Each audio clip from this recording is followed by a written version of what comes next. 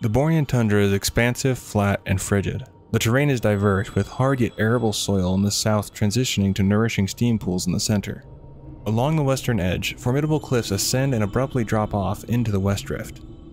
The north is dominated by grasslands and a region of steep hills. To the northwest, the elevated island plateau of Coldarra is visible. The east is blanketed in snow, presenting the harshest conditions the area has to offer.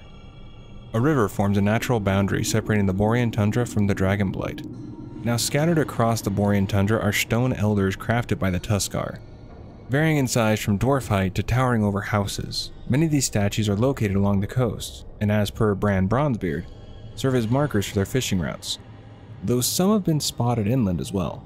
Now I want to visit some locations that I think are interesting. First, let us start with Valiance Keep, which is where Alliance players begin when they set foot on Borean Tundra. During the fierce conflict with the Lich King, the fortress was under relentless attack both externally and internally by the Lich King's forces. As the fortress walls were still under construction, scourged Nerubians erupted from the earth, revealing the Borean Tundra's infestation with spider tunnels. The fortress's walls were completed amidst regular assaults from Nerubian flame spitters. Inside the fortress, the Cult of the Damned had established a presence in Valiance, thanks to the deceptive Counselor Talbot, who was in fact San'layn Prince Valanar in disguise. He manipulated General Arlos to conceal the cult's activities and sent brave men to their deaths on futile missions. He also sabotaged the Alliance's command structure and unleashed a plague on the town of Farshire, a crucial supplier to the fortress. The truth was uncovered just in time to save Valiance Keep by the Draenei Harbinger Vurenn, whose investigation led to the exposure and capture of the infiltrating cultists. And thanks to the Death Knight Thassarian, who revealed Prince Valanar's schemes and defeated him, nearly losing his life in the process. After the war against the jailer, the Bronzebeard brothers reported that the town remains active. They also noted that if the enemies from the Riplash ruins hadn't been repelled by adventurers, Valiance Keep would have undoubtedly been their next target. Now we venture to where the Horde players begin their adventure in this land, Warsong Hold. Before the establishment of Warsong Hold, the Horde operated from Garrosh's Landing, a site named in honor of Garrosh Hellscream, who led the fleet of Orcish destroyers to the coast. This served as their primary port once they chose to construct their fortress inland, providing a strategic base for housing troops, planning strategies, and strengthening their grip on Northrend. A legion of peons were dispatched from Orgrimmar to construct this imposing fortress. They began by excavating the icy tundra's stone surface, carving out colossal stone blocks. With the assistance of cranes, these blocks were strategically placed atop a hill they had excavated around. In a relatively short span of time, the fortress took shape, Upon the completion of the hold, the peons shifted their focus to fortifying the outer defenses, constructing a series of towers and gates around the perimeter of Mightstone Quarry. Garrosh Hellscream and Varok Saurfang's plan for the fortress did not proceed without hitches. During construction, their workers inadvertently breached the subterranean layers of the Nerub'ar, scourge Nerubians, leading to the abduction of their people. Determined to protect Warsong Hold, Overlord Razgor rallied the Horde forces to counterattack, Quartermaster Holgoth, in an attempt to halt the onslaught on Warsong Hold, aimed to obliterate the sinkholes serving as the Nerubians' tunnels within the quarry. The relentless efforts of the Horde eventually forced the Nerub'ar to retreat. Simultaneously, the workers relocated to Warsong Hold were accommodated in modest shelters around the keep's base, which were subsequently seized by the Cult of the Damned. They wreaked havoc on the settlement and began to raise more undead minions for the Scourge forces. A few months prior to the Cataclysm, Cairn Bloodhoof journeyed to Warsong Hold for a meeting with Garrosh Hellscream. With the Northrend War nearing its end, Garrosh was summoned back to Orgrimmar for a grand celebration in his honor, acknowledging the Horde's triumphs under his command. It was then disclosed that Varok Saurfang, his trusty deputy, would stay behind at the Hold, leading the Horde's Northrend skeleton crew, the Warsong Offensive, and the Horde Expedition. As Garrosh and Cairn prepared to transport the majority of the fortress and Warsong Offensive's forces back to Kalimdor, the Kvaldir launched another assault. However, they successfully evaded the attack and made their escape by sea. After the conflict with the jailer, the Bronzebeard brothers relayed that the fortress, though still standing, was partially shrouded in webs, giving it an eerie, nightmarish appearance. We now travel to the east to a village called Kaskala. Once a thriving Tuskarr port on the eastern coast of the Borean tundra, now lies in ruins. It was the former capital of the Tuskarr and their largest port until the Kvaldir longships emerged from the mists, initiating a brutal onslaught. The survivors sought refuge in Unu'pe, to the east, where many remain. Kaskala is known for its stone statues, which are said to house the spirits of departed Tuskarr elders, making the Kvaldir invasion even more heartbreaking. After the battle with the jailer, the Bronzebeard brothers encounter Tuskarr who expressed their determination to reclaim Kaskala. Despite their peaceful nature, they believe in exacting justice against those who have harmed their kin. We now venture to the southwest where we find the Riplash Strand and the Riplash Ruins. Riplash Strand is a coastal stretch that once fell under the dominion of the Naga. However, the ruthless Kvaldir invaded, seizing control. Scattered along the shore are remnants of Night Elf ruins, likely an extension of the Riplash ruins located further south. Once a grand Night Elven city stood here, its glory now reduced to a few half-standing structures scattered among drifting icebergs. The most preserved among them is a temple dedicated to Elune, though the goddess hasn't graced these grounds in ages. The ruins were claimed by the Riplash Naga after the Great Sundering, replacing Elune's presence with a statue of their queen Ajara. Half a millennium ago, the Riplash Naga were ruled by Emperor Raz Nazjan, when the formidable Kraken Leviroth was imprisoned in the waters beneath the ruins by Azshara herself. She bestowed a blessing upon his trident, ensuring it would slay the beast should it ever break free. The awakening of the Vrykul by the Lich King was not the only disturbance in Northrend. The North Sea freebooters pirates, driven by sheer greed, brought the Kvaldir to Northrend shores by pilfering artifacts from a Vrykul burial ground, thus disturbing the spirits of the deceased. One of these Kvaldir clans, the Skadir, landed their longships at the ruins, annihilated the Naga, leaving only Viha, and claimed the ruins as their own, using them as a launching pad for their assaults in the Borean tundra. During the war against the Lich King, Alliance adventurers were dispatched to the ruins to repel the Kvaldir.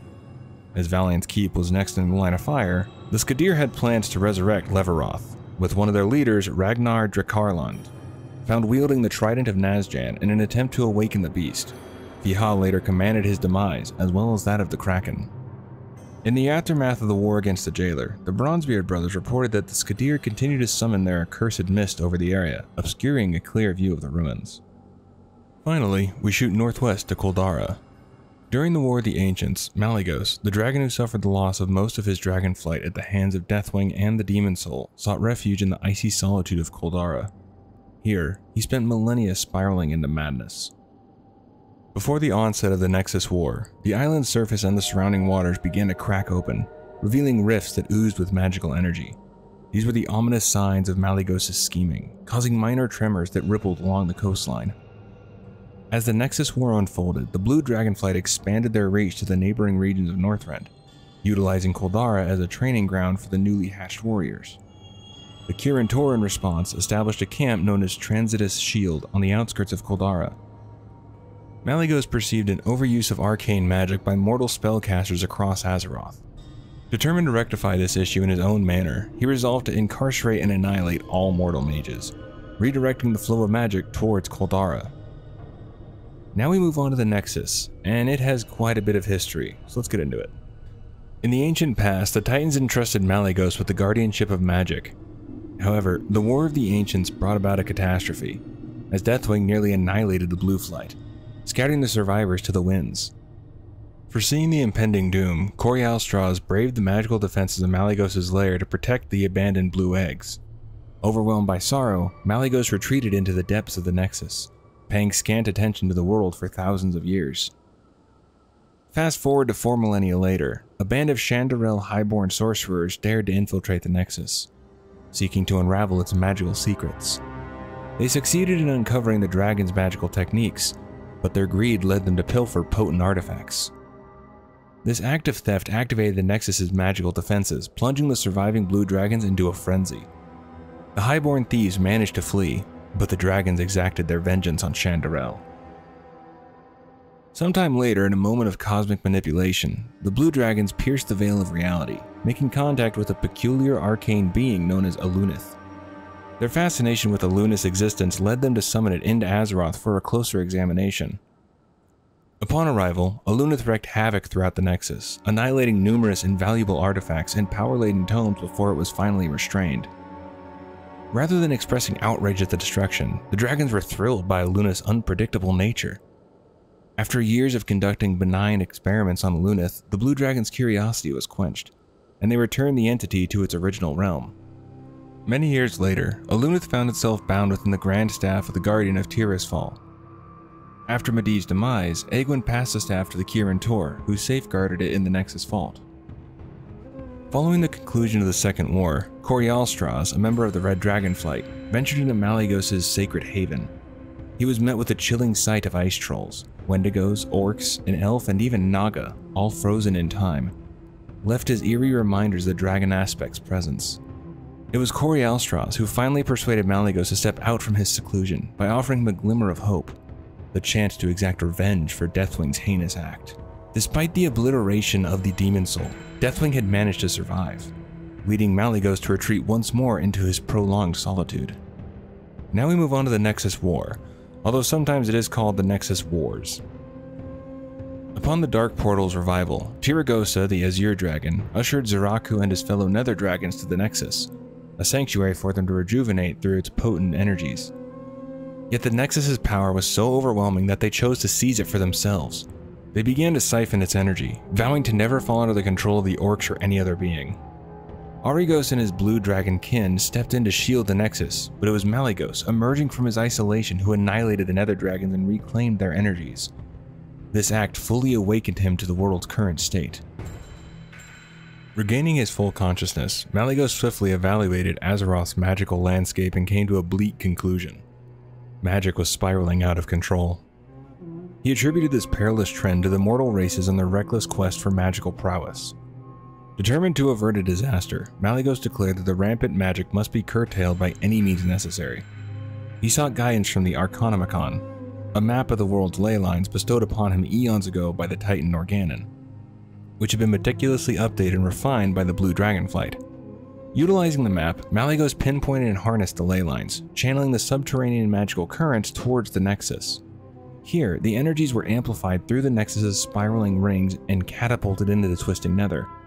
This redirection of ley lines, however, had catastrophic repercussions, fracturing the world's crust and creating unstable rifts, literal tears in the fabric of existence. The immense flow of Azeroth's arcane energy through the Nexus also altered its structure. A colossal dimensional rift was ripped open within the caverns, birthing arcane anomalies within its corridors and transmuting the Singing Gardens and its protectors into crystalline entities.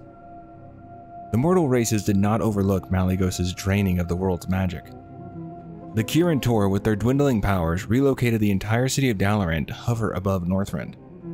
Enraged by what he saw as the mortals' blatant disregard for the world's future, Malygos declared war on them, igniting the conflict known as the Nexus War. However, the Kirin Tor was not entirely united. A few members chose to align with the Blue Dragonflight in a bid to maintain power. Empowered and transformed by Malygos, these mage hunters were assigned to seek out and, if necessary, obliterate magical artifacts, to detain or eliminate individuals practicing magic without Malygos' consent, and to assist in the redirection of ley lines using colossal constructs known as Surge Needles. A number of them were welcomed into the Nexus to continue their duties and defend it from intrusion. The escalating militant approach of the Blue Dragonflight drew the ire of the Red Dragonflight. Tasked with the safeguarding of life, they pledged to neutralize Malygos and formed an alliance with the Kirin Tor to counteract Malygos' destructive campaign. During the war, Malygos incarcerated the Red Dragon Keristrasza within the Nexus, with the intention of coercing her into becoming his new mate. The Kirin Tor and Red Dragonflight eventually besieged the Nexus, enabling the Horde and Alliance to infiltrate its halls and vanquish many of Malygos' most formidable allies. Ultimately, adventurers ventured into the Eye of Eternity to confront Malygos himself. Despite the aspect's unleashing of his arcane power, they managed to slay Malygos with the assistance of Alexstrasza, thus concluding the Nexus War and leaving the Blue Dragonflight without a leader. However, later on, Kalecgos would be chosen as the new Blue Dragon aspect. I did what I had to, brother. You gave me no alternative. And so ends the Nexus War. This resolution pains me deeply, but the destruction, the monumental loss of life had to end. Regardless of Malygos' recent transgressions, I will mourn his loss. He was once a guardian, a protector, this day, one of the world's mightiest, has fallen. The Red Dragonflight will take on the burden of mending the devastation wrought on Azeroth. Return home to your people and rest. Tomorrow will bring you new challenges, and you must be ready to face them. Life goes on.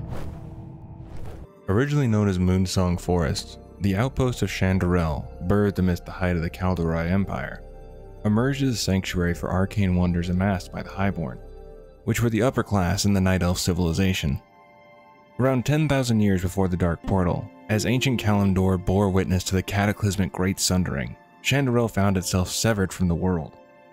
Left powerless and vulnerable, the elves embarked on a centuries-long quest in the Moonsong Woods, seeking the magic to sustain them and hoping to find salvation.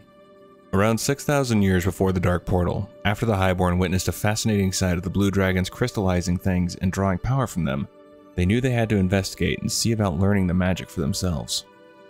Knowing that the dragons would never teach them, they had to infiltrate the Nexus. But the sorcerers, being driven by greed, pilfered relics which triggered the rage of the Blue Dragonflight. Their pilfering sent the dragons into a frenzy, and while they escaped with their lives, the dragons weren't done with them and would have their revenge. Many of the blue dragons descended upon Shandaral, but the elves decided to use the techniques that they had acquired from within the Nexus. Focusing their power, they hoped to crystallize a small portion of the forest and use that as a weapon to destroy the dragons, but they failed. Their reckless casting caused an explosion which released a giant torrent of energy that crystallized the entire forest, thus giving it the name Crystal Song Forest. Shattering the physical forms of life, survivors morphed into maddened crystal entities, epitomized by the likes of crystal satyrs and dryads. Only the four-sided blue dragons escaped the impending spellwork, leaving the land to be plagued by wandering spirits. The unbound, remnants of shattered civilization, now meander through the ruins of their ancient abode. Approximately 4,500 years before the Dark Portal, Fandral Staghelm, in a bid to thwart the spread of Saronite, planted Nordrassil branches across Northrend.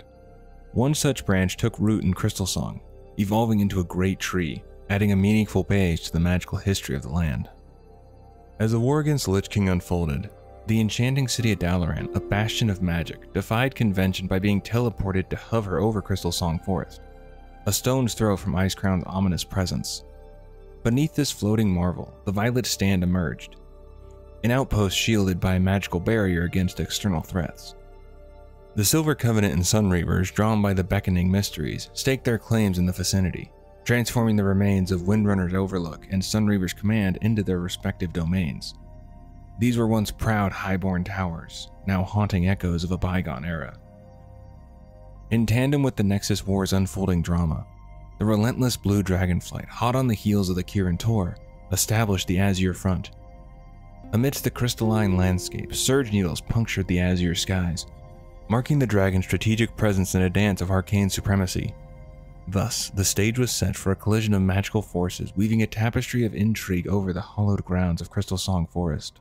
In the wake of the Lich King's demise, the intrepid Bronzebeard brothers revisited the frigid landscapes at Northrend, chronicling their post-war escapades. Amidst their observations, a curious absence caught their attention. The once majestic Violet Stand had vanished, leaving only whispers of its mysterious past. Yet scattered across the icy expanse, other outposts endured, silent witnesses to the ebb and flow of time. As the remnants of conflict lingered, the Azure Front persisted as a steadfast outpost, its surge needles now rendered inert. However, the Azure skies remained vigilant, patrolled by the ever-watchful Dragonkin, a testament to the enduring presence of ancient forces. Meanwhile, the Sunreavers and Silver Covenant maintained their foothold in the region. In the mystical embrace of Crystal Song Forest, the Unbound Thicket emerges as a dominant force, a realm entrenched in mystery within the eastern reaches. Its boundaries weave a cryptic tapestry, with Sunreaver's command to the north, the haunting Zul'Drak to the east, the echoes of Windrunner's Overlook to the south, and the somber Forlorn Woods guarding its western flank. Amidst this thicket lies the ruins of Shandaral, nestled just east of a crystalline sentinel. A dance of energy unfolds in this realm where every tree bears the signature touch of crystal, and the very ground beneath, fissured and leaking magical energies, pulses with an otherworldly rhythm. The wind itself, a spectral whisper through crystal leaves, adds an eerie symphony to this surreal landscape. In the unbound thicket, the remnants of the once majestic highborn echo through ghostly apparitions and twisted, maddened creatures. A perilous dance ensues where every glance may provoke the ire of these crystalline phantoms, as the forest holds its secrets close, guarded by the ancient and the arcane. In southern Crystal Song Forest, the puzzling azure front unveils itself southeast of the ethereal violet stand. Amidst the ancient trees, a captivating display of artifacts belonging to the majestic blue dragonflight graces the area. The heart of their power emanates from a colossal crystal tree, adorned with a mesmerizing chain of three surge needles. Strikingly, a fourth surge needle adorned with a distinctive crystal stands guard between this sanctum and the revered violet stand. During the tumultuous Nexus War, this very enclave served as the battleground where the formidable Blue Dragonflight contested against Dalaran and the Kirin Tor. A historical testament to the clash of powers resonates within the whispers of the trees. Years later, in the aftermath of the arduous conflict against the jailer, the renowned Bronzebeard brothers chronicled their observations in a report. They recounted a lingering aura of magic, with surge needles suspended in the air like dormant guardians of bygone battles. Though no longer pulsating with active energy since the Nexus War's end, the needles bore silent witness to eons of struggle. Intriguingly, the brothers noted the lingering presence of Blue Dragonkin, once a formidable invading force now reduced to a mere fraction. The winds of change had swept through the forest, leaving behind remnants of a bygone era, where dragons clashed and the very essence of magic hung in delicate balance. Nature's canvas is painted by the twilight rivulet, gracefully slicing through the woods from the decrepit flow, leading its journey towards the puzzling mirror of twilight. Above this rustic sanctuary, Dalaran floats with ethereal grace, a celestial city in the heavens. Here, autumn lingers eternally, casting a golden and red-brown hue upon the landscape, Amongst the vibrant foliage stand the melancholic ruins of elven structures, whispers of a forgotten era that adds a poignant touch to the woodland's allure. Murmurs of Muradin Bronzebeard declare this haven to be the safest refuge in the region, a sanctuary to rest one's weary soul, or halt for a comforting rest beneath the canopy of perpetual autumn. In the trial of conflict, the mages of the Violet Stand wove a tapestry of protection, erecting a magical shield dome that shimmered defiantly against the looming threat of the Blue Dragonflight during the Nexus War. Amidst the remnants of arcane defenses, the ground bears witness to the haunting aftermath. The lifeless forms of blue dragon spawn, fallen soldiers in the nearby azure front scattered like tragic echoes in the ruins. Scorched earth and burnt holes tell a tale of battles waged and victory uncertain. Yet, as the echoes of war settled, the brothers Bronzebeard penned a somber chapter in the Violet Stand's history. The Kirin Tor, once guardians of these mystical ruins, departed after the jailer's defeat, now the landscape bears witness to the silent decay of once majestic towers, draped in vines and smoldering craters, lingering scars left by the blue dragonkin, a poignant reminder of the fleeting nature of arcane splendor. In the echoes of its frozen past, Wintergrasp reveals a transformation. Once cradling the expansive Lake Wintergrasp, now a basin laid bare for exploration. A coveted mine lies at its heart, a trove of riches entwined in a ceaseless dance of contention between the Horde and the Alliance. In the aftermath of the jailer's defeat, the saga persists, an enduring skirmish that refuses to yield. Muradin Bronzebeard, wise and weathered, contemplates the significance of these relics. He warns against messing with the Titan's protective seal and reflects on the irony that the relics meant for safety could cause conflict. He encourages both factions to rethink their constant fighting for the sake of peace. His brother, Bran Bronzebeard, wears the curiosity of an adventurer, eager to unveil the tales and powers dormant within these artifacts. Yet a thread of caution weaves through his words, advocating restraint until the world teeters on the precipice of global catastrophe. In this frigid theater of conflict, the question lingers are these relic keys to salvation or conduits to chaos? So the only thing I couldn't really find like concrete information on was what caused the crystal part of the forest to get taken over by the Forlorn Woods. Now, in the wiki, it says that the entire forest got turned to the crystalline structures and forests and everything that we see in the Unbound Thicket and the Azure Front. However, my thinking is that when the Great Tree was planted, the roots and everything was able to push the crystal back and break through and let the natural forest grow to an extent. I'm thinking like parts where there was more magic or more just powerful aspects to the forest, or just more concentration of magic is where the tree wasn't able to really break through and let the Forlorn Woods take over all of it. That's my best guess, but let me know your guess down below. In the heart of a vast Arctic wilderness, encircled by dense forests, lies a landscape strewn with the gleaming skeletal remains of fallen dragons. Dominating this frozen expanse is the Wyrmrest Temple, a structure of ancient origin, believed to have been erected by the Titans in the early days of Azeroth's creation. It is within this fortress that the five mighty dragon aspects are said to have received their blessings and their duty to safeguard the developing world.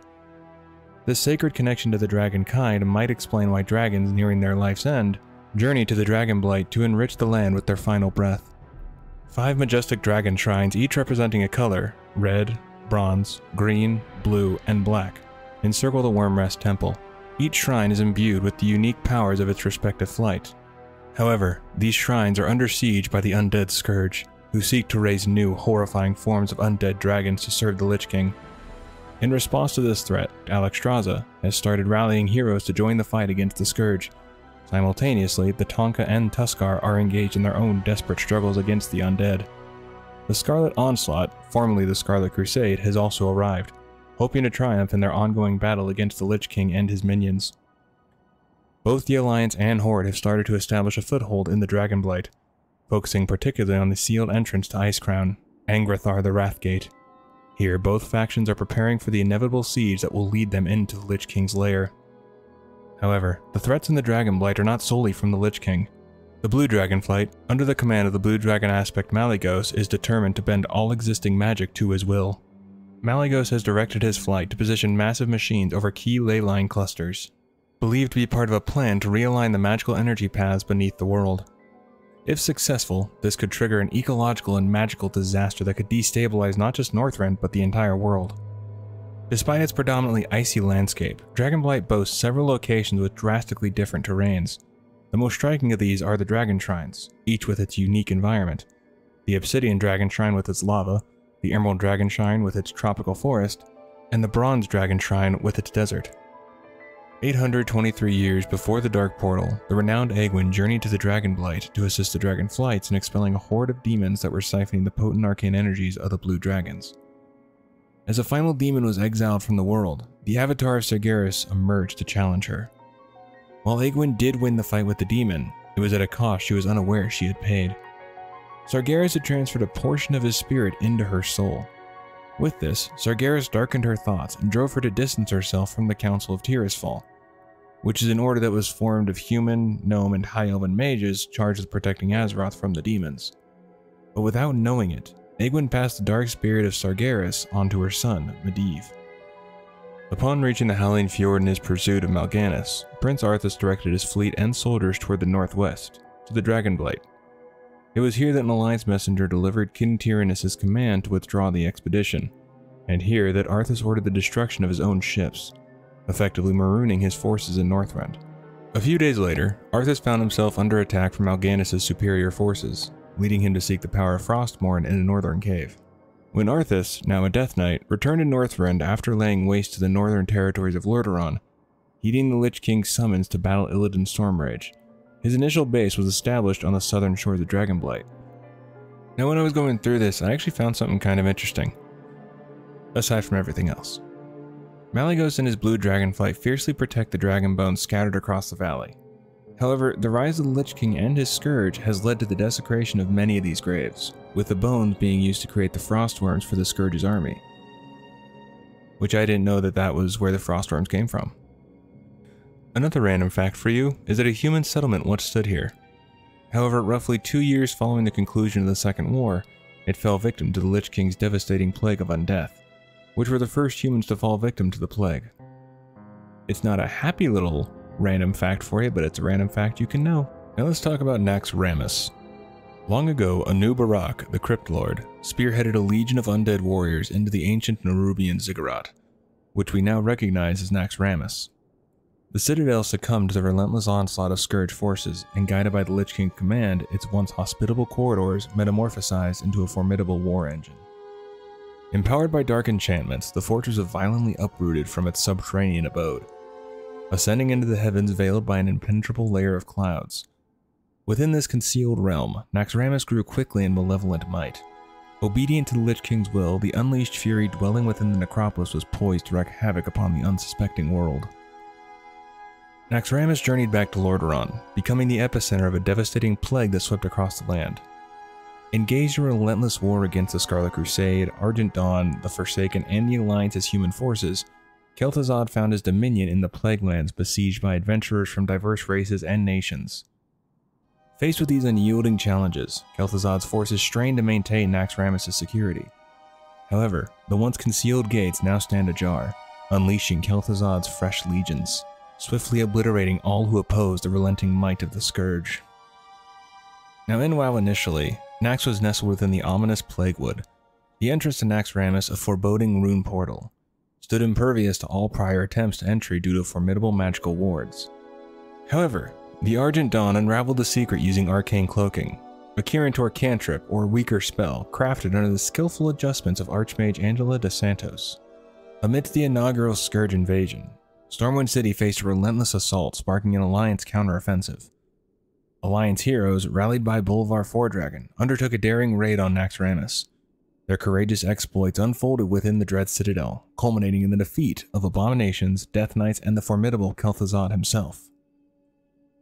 With Kel'Thuzad defeated, all seemed good. The adventurers gave his phylactery, which is a container that holds the life force or soul of the Lich, and can be used to regenerate the Lich with enough power fed into it. Only way to actually destroy a lich for good is to destroy their phylactery. Adventurers gave his phylactery to a priest named Inigo Montoy, who was thought to be a trusted ally, but betrayed the Argent Dawn and the adventurers and was working for the Lich King the whole time. Montoy took Kel'Thuzad back to the Lich King, and then the Lich King brought him back to life with the help of the Sunwell energy. With him revived, Naxxramas was brought to Northrend to aid Arthas in his plan, and Kel'Thuzad returned to his lair, where within the necropolis the tide of the battle could turn against the Lich King or be forever in his favor. Grizzly Hills is a picturesque and diverse zone characterized by dense forests, rugged mountains, and scenic lakes. It offers a captivating blend of natural beauty and untamed wilderness. The region is home to various wildlife, including bears, furbolgs, and other creatures.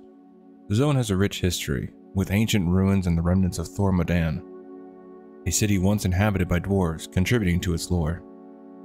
In ancient times, the Grizzly Hills were the playful abode of two brothers, Ursoc and Ursol, mischievous bear cubs with insatiable curiosity. Despite venturing into the territories of larger predators, they stood together in the face of danger. Impressed by their unwavering bond, Keeper Freya transformed them into wild gods, imbuing them with nature's power. Fast forward 4,500 years before the First War, and Fandral Staghelm's bold act of planting Nordrassil branches over Saronite changed the fate of the Grizzly Hills. The towering Andrassil, or Crown of the Snow, which was planted on a particularly large Saronite deposit born from this daring experiment, initially thrived. Yet unforeseen consequences arose as Andrassil's roots reached the subterranean prison of Yogg-Saron, corrupting the once majestic tree and causing races like the Taunka and the forest nymphs to be in constant conflict when before they were peaceful with each other. The Cenarian Circle, realizing the threat, faced the heartbreaking choice of destroying Andrassil, renaming it Vordrassil, or Broken Crown. Little did they know, Yogg-Saron's dark influence had seeped into the Emerald Dream, sowing the seeds of corruption. These seeds, nurtured by the dream's ethereal realm, gave rise to the infamous Emerald Nightmare. The repercussions of their actions extended far beyond the felling of Andrassil. In the aftermath, the Furbolg tribes embraced the stump left behind, constructing Grizzlemaw, a settlement that housed a massive prehistoric bear deity. As generations passed, the Furbolgs continued their reverence, while a secluded human population thrived in the woods, detached from the Seven Kingdoms, sustaining themselves as skilled trappers. Thus, the Grizzly Hills' ancient tale weaves a tapestry of gods, corruption, and the enduring spirit of those who called these unmatched lands home. In the enchanting landscape of Grizzly Hills, traces of the once mighty Vordrassil linger, scattered in the form of its heart, limb, and tears. These significant remnants bear witness to the Night Elves' decisive act of felling the colossal tree ages ago. Venture into this region, you'll discover a peculiar sight. The ground beneath covered in a living ooze, a tangible reminder of the corruption that once gripped Vordrassil's towering presence. Explore the remnants, where nature's beauty intertwines with echoes of an ancient struggle against the malevolent forces. We travel now to Ursoc's Den, the lair of the wild god Ursoc, renowned for his epic clash with the Burning Legion during the War of the Ancients. Positioned northwest of the Westfall Brigade encampment, Carved from solid rock, it takes the form of a colossal bear's head, with its mouth serving as the entrance to a natural canyon. Within this remarkable sanctuary, Ursoc made his dwelling thousands of years ago, leaving an enduring mark on the rugged landscape of Azeroth.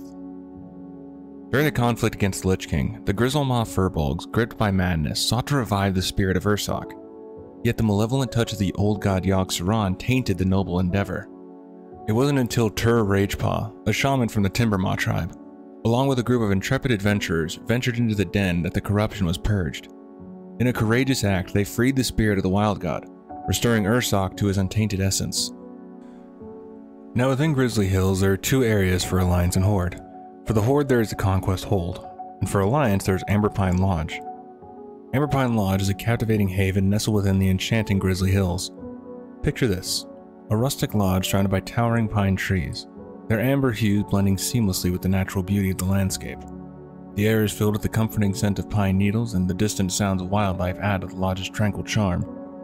The lodge stands as the main gathering point for the Alliance in the western Grizzly Hills.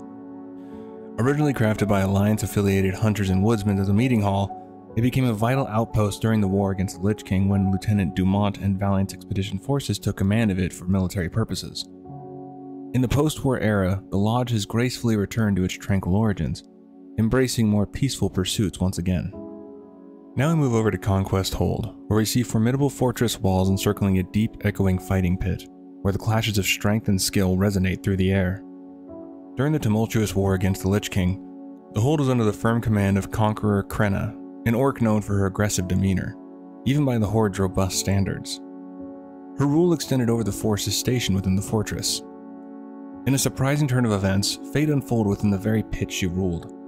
A challenge arose, not from an external force, but from within.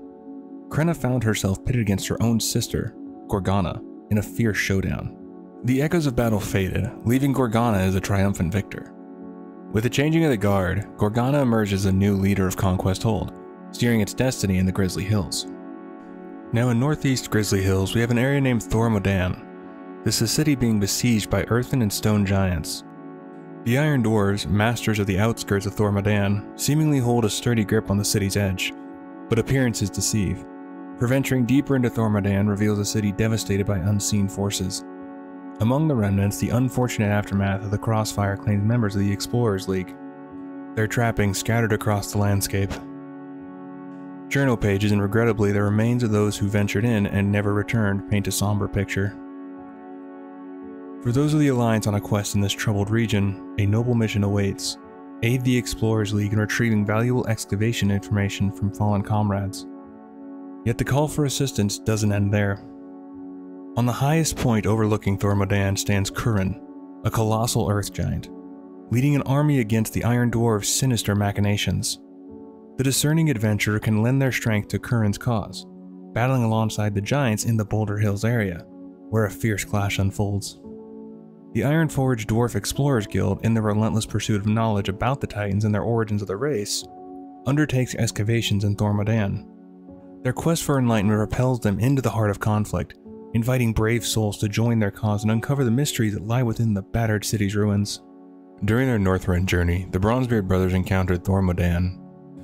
While the Iron Dwarves aligned with the uncorrupted forces of Ulduar, the Earthen in this region served the Stone Giants, maintaining a perpetual conflict with their Iron Dwarf counterparts. Amidst this strife, the city faced ongoing bombardment by the Stone Giants, preventing any attempts at rebuilding.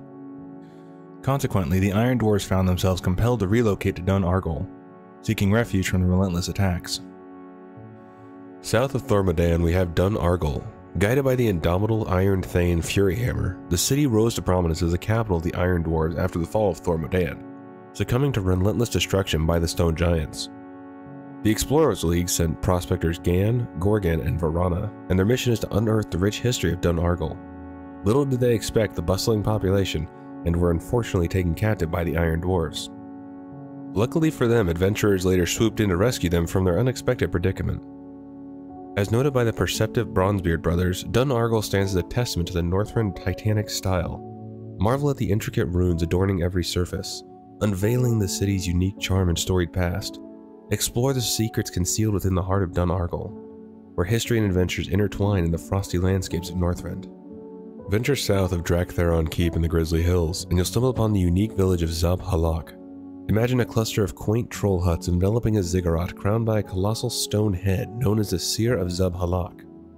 Before the clash with the Lich King, a dark fate befell the village, succumbing to the scourge even before the Alliance set foot in Northrend. The once thriving Drakkari trolls met a tragic end, leaving Zeb'Halak in ruins. In the aftermath of the war against the jailer, the intrepid Bronzebeard brothers explored the desolate remnants of Zeb'Halak.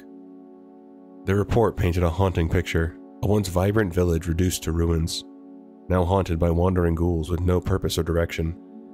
The echoes of history linger in the quietude of this forsaken place. South of Zeb'Halak, you'll find Venture Bay, once a relatively quiet spot utilized by the Venture Company for their ventures. It transformed into a fierce battleground during the war against the Lich King, the Alliance, represented by scouts from the Westfall Brigade encampment, clashed relentlessly with the Horde's forces from Conquest Hold, each vying for control of the strategic harbor. In the aftermath of the war against the jailer, the Venture Company once again claimed dominion over the harbor, converting it into a hub for mining and deforestation endeavors. Muradin Bronzebeard's insightful reports noted a surprising twist. The Alliance and Horde, having set aside their differences, no longer waged war over Venture Bay. Instead, a glimmer of hope emerged, hinting at the possibility that these once rival factions might one day join forces against the common threat posed by the Venture Company. In the ancient days of Grizzly Hills, two adventurous bear cub brothers, Ursoc and Ursol, roamed together. These brothers, fueled by curiosity, often wandered into the territories of larger predators. Surprisingly undeterred by danger and the refusal to leave each other's side, their unbreakable bond caught the eye of Keeper Freya. As the brothers got older, they became the true kings of Grizzly Hills, towering over their fellow bears with unmatched size and strength. And as an added bonus, they didn't feel the effects of getting older. Recognizing their potential, she first saw their transformation into wild gods due to their unwavering dedication to each other.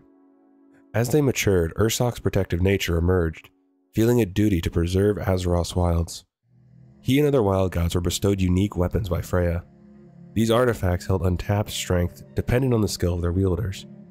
To unleash their true potential, practice, care, and self improvement were essential.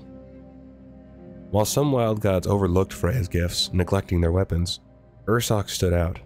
He grasped the significance, dedicating himself to mastering the power within his unique weapon.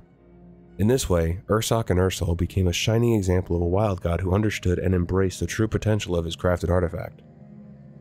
Like Ursoc's claws, crafted from Titan steel and infused with Eonar's essence, Eonar was actually the original Titan who infused part of her power into Freya, so that way Freya can do what she does. Ursoc wholeheartedly embraced the gift, tirelessly training alongside his brother, who wielded a magic enhancing staff, which I have no clue how Ursol wielded a staff as a bear, but that's what the wiki says, so I'm going with it. Their dedication paid off, making them among the most potent wild gods. Ursoc's Titan steel claws became an extension of himself, while Ursol mastered the manipulation of magic. Together they emerged as Azeroth's formidable defenders. In time, Ursoc and Ursol joined Keeper Freya on her journeys across Azeroth. She shared her concerns about ominous forces, and the brothers made it their duty to safeguard her. During their travels, they glimpsed the Emerald Dream, Freya's creation for guiding Azeroth's natural life. Drawn to its untouched wilderness, they immersed themselves in the dream's of vibrant vision of nature. Then came a day when Freya sought solitude. Her words seemed like a farewell to Ursoc and Ursol, and before parting, she imparted more wisdom on their weapons and gifts, urging them to stay prepared. Azeroth will need you. If you're not ready, the world may crumble, she warned. However, the wild gods never saw her again. The same darkness that had ensnared Keeper Loken also tainted her mind. During a battle against the old god's servants, Ursoc fought alongside a Tauren named Aruna Highmountain, Recognizing the impending darkness, he blessed Aruna's spear, Talonclaw, previously blessed by another wild god named Onara. As time unfolded, Ursoc became a father to his son Orson and daughter Codian, extending his legacy within the realms of Azeroth. During the War of the Ancients, Azeroth faced an unparalleled threat, the Burning Legion. Having corrupted key figures like Lord Xavius among the elven civilization near the Well of Eternity, unleashed its might upon the world. Malfurion called upon the wild gods to counter the demonic onslaught. The first responders were Ursoc and Ursol, charging into battle against the Legion's Doomguard. They struck the initial blows in the clash between Azeroth's untamed realms and the twisted army of a fallen Titan. Facing daunting odds, the brothers engaged in a fierce struggle. Without a moment's hesitation, they stood firm, undeterred even as the full wrath of the Burning Legion descended upon them. In this fierce fight against the Legion, many wild gods met their end. Ursol and Ursoc, however, stood side by side, utilizing Freya's bestowed gifts to repel waves of demonic foes. Despite their valiant efforts, their strength had its limits. An unrelenting surge of Fellstalkers ultimately overwhelmed them, leading to their demise. Together, their spirits journeyed to the Emerald Dream, where they lingered for millennia. In the physical realm, Ursoc's legacy was embodied solely in his claws. As the battle shifted elsewhere, a young Firbolg stumbled upon these Titan steel claws Recognizing their origin, he brought them to his tribe. Across generations, the Firbolgs revered the claws as the ultimate symbol of their bear god Ursoc, the enduring testament of a fallen hero. However, wielding these powerful claws proved perilous for most Firbolgs, inducing an uncontrollable bloodlust that struck both friends and foe. Ursoc's spirit, residing in the Emerald Dream, observed the chaos caused by his once mighty weapon. Realizing the Firbolg's inability to control the claws, Ursoc withdrew his spirit from them until a worthy champion arose. In time, a group of druids of the Claw seized the now powerless claws from the Firbolgs and returned them to Ursoc's spirit within the dream. The tale of the Titan Steel claws of Ursoc unfolds, carrying the weight of sacrifice, reverence, and the quest for a worthy bearer. During the war against the Lich King, the Firbolgs of Grizzlemaw faced the encroaching grip of madness. Desperate, they sought to resurrect Ursoc using the mystical energy of the ill-fated tree, Vordrassil. However, the lingering corruption within the tree seeped into both the Firbolgs and Ursoc upon revival, corrupting them both. Tur Ragepaw, along with a brave group of adventurers, confronted and cleansed Ursoc's spirit within his own cave, breaking the dark hold of corruption. Grateful for their aid, Ursoc imparted a dire warning about the old god Yogg-Saron, the sinister force behind Vordrassil's demise. Since his second demise in the Grizzly Hills, Ursoc's spirit found solace in the embrace of the Emerald Dream. A brave druid adventurer seeking the claws of Ursoc for the battle against the Burning Legion encountered a challenge. Satyrs, servants of the Emerald Nightmare, sought to claim Ursoc's domain within the dream for themselves, tainting it for their relentless pursuit of the coveted claws. With the blessing of Ursol, the adventurer embarked on a quest to obtain the claws, Together with Ursoc, they fought off the Nightmare's minions only to fall into a cunning trap orchestrated by Xavius. Despite Ursoc's confident proclamation that Xavius couldn't face a god, the Nightmare Lord, shaped by the powers of the old gods, captured Ursoc nonetheless. In the Emerald Dreamway, a son of Ursoc guided the Archdruid of the Dream Grove to acquire the essence of tenacity from Rokmora, aiming to power the Idol of the Wild and commune with Malorn. As Malorn became ensnared in an Emerald Nightmare recreation of his death, fragments of Ursoc and Ursol battled demons during the War of the Ancients. Ursoc emerged as a formidable boss in the Emerald Nightmare raid, set in a distorted version of Grizzly Hills within the Nightmare's clutches. The veil of the Nightmare lifted just before Ursoc's demise. Orchestrated by a courageous band of adventurers, after Xavius met his end, Ursoc's spirit lingered within the renewed tranquility of the Emerald Dream.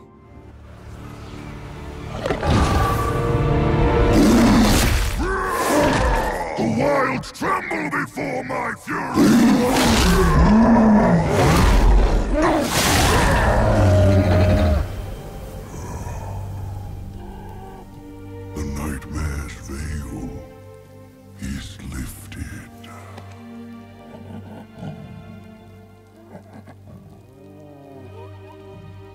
Return at last to the long slumber to the great forest beyond, until I may serve the wilds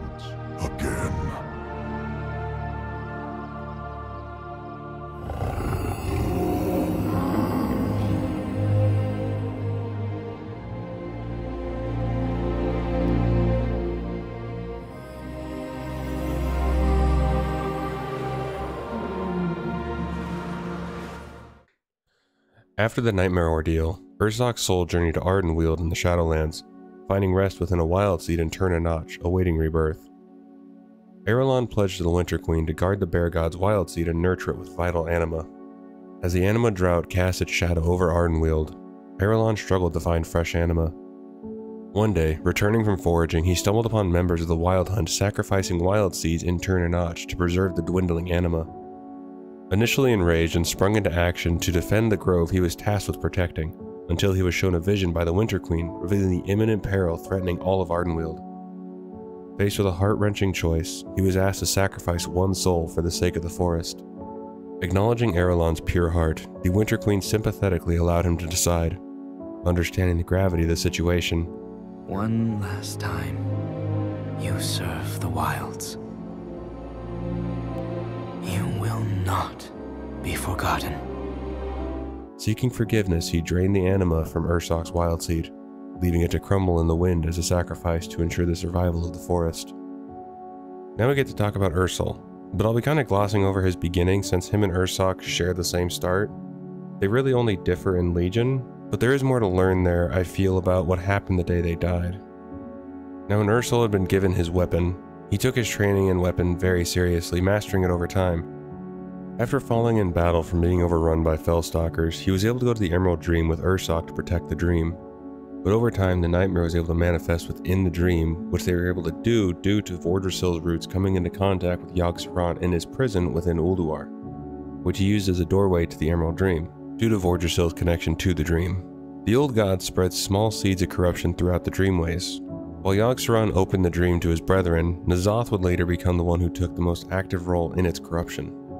A chosen druid was tasked with retrieving the claws of Ursoc to help fight the legion that had returned.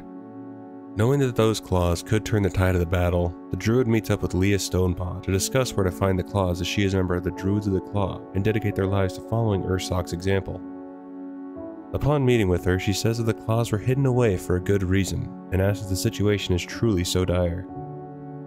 After explaining of the claws, you meet her in Grizzly Hills, Ursol observed the druid's courage and skill, ultimately bestowing his blessing upon them. Through these trials, you learn from Ursol that the two brothers were unstoppable together, but the day of the battle that ultimately claimed their lives. Ursoc and I fought as a team. He would strike, and I would guard his side. Together, we were unstoppable. Tell me, is there anyone willing to fight at your side, Druid? I've seen what this hero can do. I will gladly help. Once, during the chaos of an ancient battle, my brother and I became separated. I failed to be at his side when he needed me most. For this trial, you must prove that you can protect those who entrust you with their lives. Show me that you can succeed where I once failed. This one will be your charge. Guard her, or she will quickly be overwhelmed. Ursol forever carries that guilt, and forever wishes he could have saved his brother and not failed him. As the Emerald Nightmare ensnared Malorn in a chilling recreation of his demise by Archimonde, echoes of Ursoc and Ursol emerged, in this haunting reflection of the War of the Ancients, figments of the Bear God brothers valiantly battled demons, leaving an indelible mark on the dreamy tapestry of Azeroth history. According to Muradin Bronzebeard in the book Exploring Azeroth Northrend, Howling Fjord can be aptly characterized as a region featuring green meadows intersected by bone-chilling rivers, pine forests wafted with a crisp and invigorating breeze, and towering rugged fjords. In the violent era of the Third War, Prince Arthas Menethil of Lordaeron embarked on a perilous mission to vanquish the Dreadlord Mal'Ganis for unleashing the plague of undeath that wreaked havoc across his homeland. Alongside the intrepid dwarven explorer Muradin Bronzebeard, whom they believed to be a mere pawn in the sinister game orchestrated by the Lich King. However, duty called Arthas back home when his father beckoned, yet the prince's unwavering resolve led him down a treacherous path. Faced with the dilemma of abandoning his pursuit or forsaking his duty, Arthas made a fateful decision. To ensure his men remained committed, he employed a cunning tactic, hiring mercenaries to set ablaze his own fleet, cunningly casting blame upon them for this apparent act of betrayal. In his relentless quest, Arthas ventured into the ominous Dragonblight, where he uncovered the malevolent Frostmourne, a cursed blade with an insidious allure. The confrontation with Mal'Ganis ensued, resulting in a triumph for Arthas, but at an unimaginable cost the forfeiture of his own soul to the insidious grasp of the Lich King. Haunted by his actions, Arthas descended into madness during a solitary trek through Northrend. Upon his return, a dark transformation unfolded as he mercilessly slaughtered his loyal followers. raising them from the dead as mindless scourge and some as ominous death knights. Meanwhile, the icy expanses of Daggercap Bay harbored secrets of their own, with Nerubians and ice trolls maintaining isolated outposts, unwitting witnesses to the unfolding saga of Arthas' expedition to the frigid lands of Northrend. The Lich King's awakening sent shockwaves through Northrend, rousing the ancient Vrykul from their long slumber. These towering beings returned to reclaim the forsaken keeps and villages that had been abandoned for millennia. As the Alliance, led by King Varian Wrynn, confronted by the Scourge threat, the Paladin Bolvar Fordragon was tasked with eliminating the undead menace. The Valiance expedition, upon arriving in Northrend, established a foothold in the Howling Fjord. Here, they faced the chilling reality of the Lich King's influence. Many Vrykul had succumbed to his control, launching relentless assaults on the Alliance's defenses until their numbers dwindled. The settlers of Valgard found themselves contending with reawakened Vrykul warriors raiding from the ancient Utgard Keep. Meanwhile, Ironforge prospectors unearthed a mysterious race of Iron Dwarves, hinting at their own puzzling origins. Amidst this turmoil, the Forsaken established a presence, concocting a new plague to confront the Lich King. Vengeance Landing and New Agamand became their strongholds, paying homage to the famed Agamand family of Agamand Mills from Tirisfal Glades. Enter Prince Keleseth, a figure tied to the Vrykul's alliance, who took residence at Utgard Keep. He not only oversaw Scourge operations in the Howling Fjord, but also proved to be a formidable adversary, collaborating with Ingvar the Plunderer to orchestrate disruptive raids throughout the region. Now, if you're like me and have no idea of the Agamand family, I figured we should talk about them. In the face of the Scourge's ominous arrival in Tirisfal, Gregor Agamand made a steadfast decision. His family would stand their ground and protect their homestead. The Agamands, with unwavering determination, fortified their mills and rallied their employees to join the defense. Their once well fortified stocked haven took a dark turn when the youngest son, Devlin, betrayed them by aligning with the Scourge. In a sinister act, Devlin murdered watchmen and guided the undead through a breach, catching the defenders unaware as they slept. The ensuing chaos led to a third of the defenders falling before the undead were eventually quelled. With diminished numbers, the Agamand struggled to fend off the relentless Scourge assault. Tragically, the entire family succumbed to the plague of undeath, transforming into mindless Scourge undead. The Scourge, seeking to establish a base at the mills for attacks on the Forsaken, found a strategic foothold. Their local military leader, Captain Dargol, utilized necromancy in the Agamand family crypt, raising the ancestors to turn them against the Forsaken. The Death Guards, recognizing this threat, tasked brave adventurers with eradicating the scourge in the mills. Simultaneously, Magistrate Sevren commissioned heroes to confront the forces at the formidable family crypt.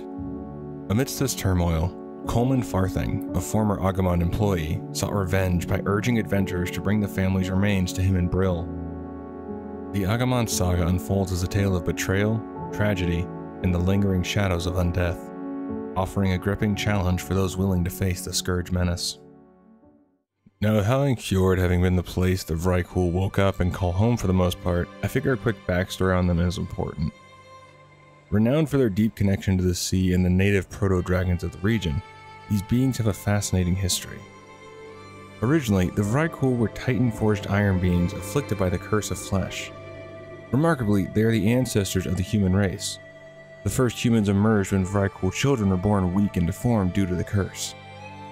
In the era before the Great Sundering, King Ymiron led the Vrykul from Utgard Keep. Fearing the curse of flesh, he directed his people to enter a long hibernation to endure the coming millennia. However, not all Vrykul followed his path. Ages ago, a group ventured to the sacred realm of Stormheim in search of their true gods. Another seafaring faction settled on Kul Tiras, specifically in the region of Drustvar, becoming known as the Drust. With the onset of the Lich King's War in the Icy Wastelands, the Northrend Vrykul awoke, hailing him as a god of death. Under King Ymiron's leadership, they pledged themselves to the Lich King, joining the Scourge armies. After the Living Triumph and with no death god to serve, the Vrykul returned to their former way of life, keeping to themselves and resuming their unique existence. Utgard Keep, nestled among the central cliffs of Howling Fjord, was deemed an abandoned relic, a silent witness to a lost era. Yet a recent awakening has stirred the fortress's dormant residents, the Vrykul. Feared for their alleged alliance with the Scourge, these savage beings now terrorize neighboring settlements. With formidable proto-dragons under their command and unparalleled battle prowess, the Vrykul pose a direct threat to both Horde and Alliance endeavors in Northrend. The only conceivable means to break their indomitable spirit lies in defeating their revered leaders.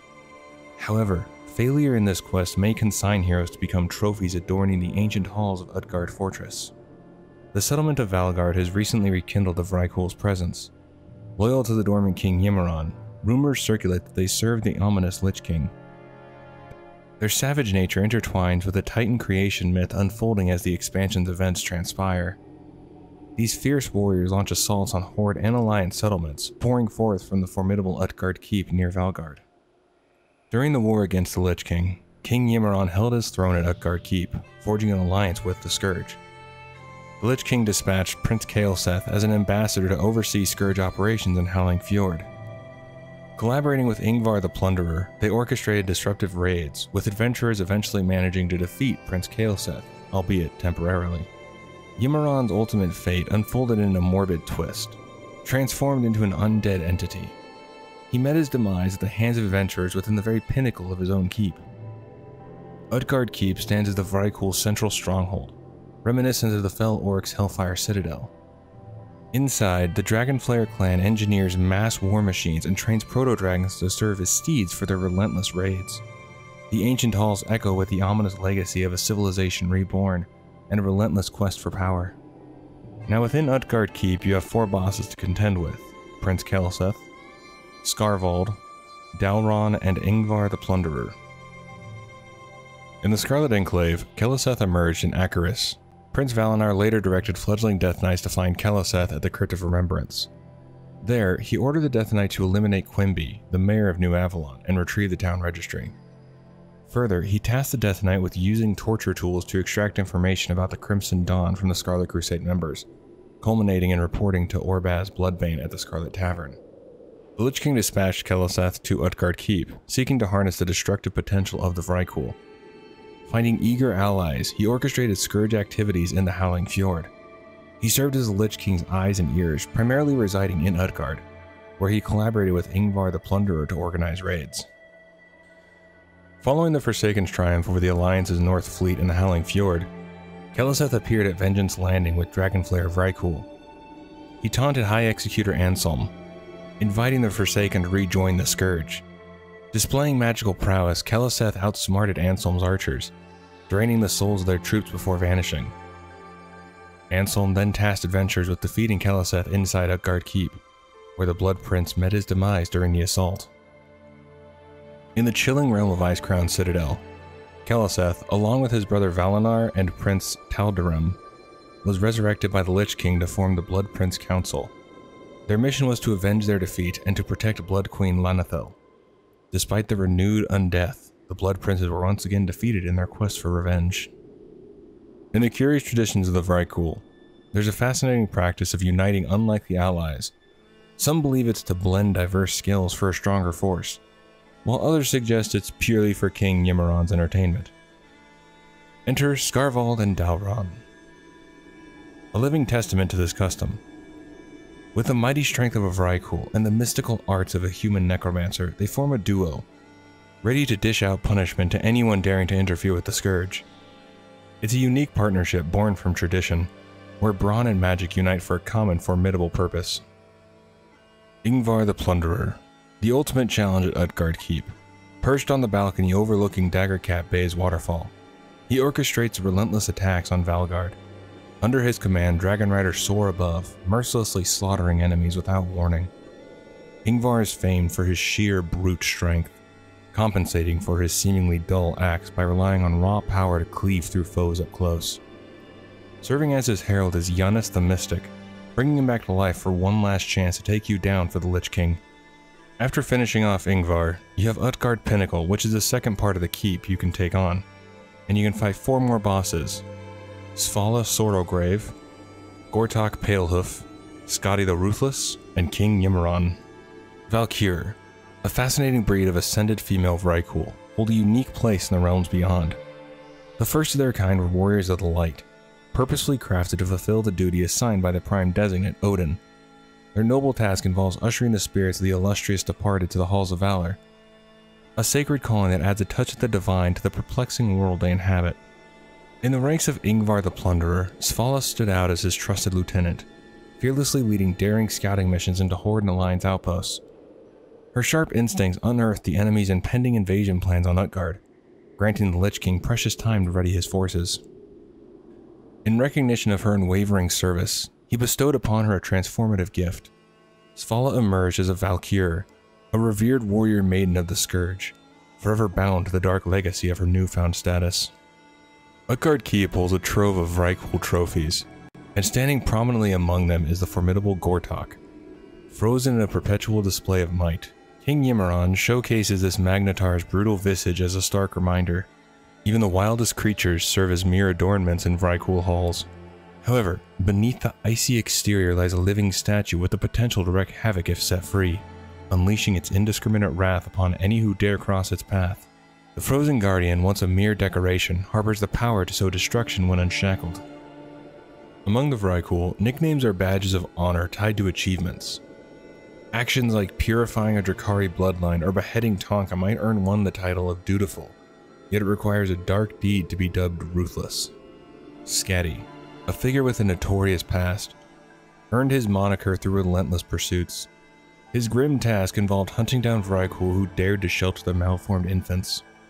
The ancestors of humanity, condemned by the stern judgment of Ymiron, in the intricate tapestry of Vrykul lore, Skadi's ruthless pursuit etched a dark legacy for himself. King Ymiron, once the revered leader of the Vrykul during the era of Titan-forged iron, steered his people through triumph and tragedy before the fateful sundering. Under his command, the Dragonflayer clan achieved victory against their adversaries, driving the Yalgar into Kalimdor's lush central forest in a coordinated offensive. However, this triumph was overshadowed by the insidious curse of flesh, the curse unfolded, transforming the sturdy metal Vrykul into flesh and blood. Ymiron grappled with the anguish of this transformation, laid blame on the Titans, and sought to purge what he deemed as weakness from his people.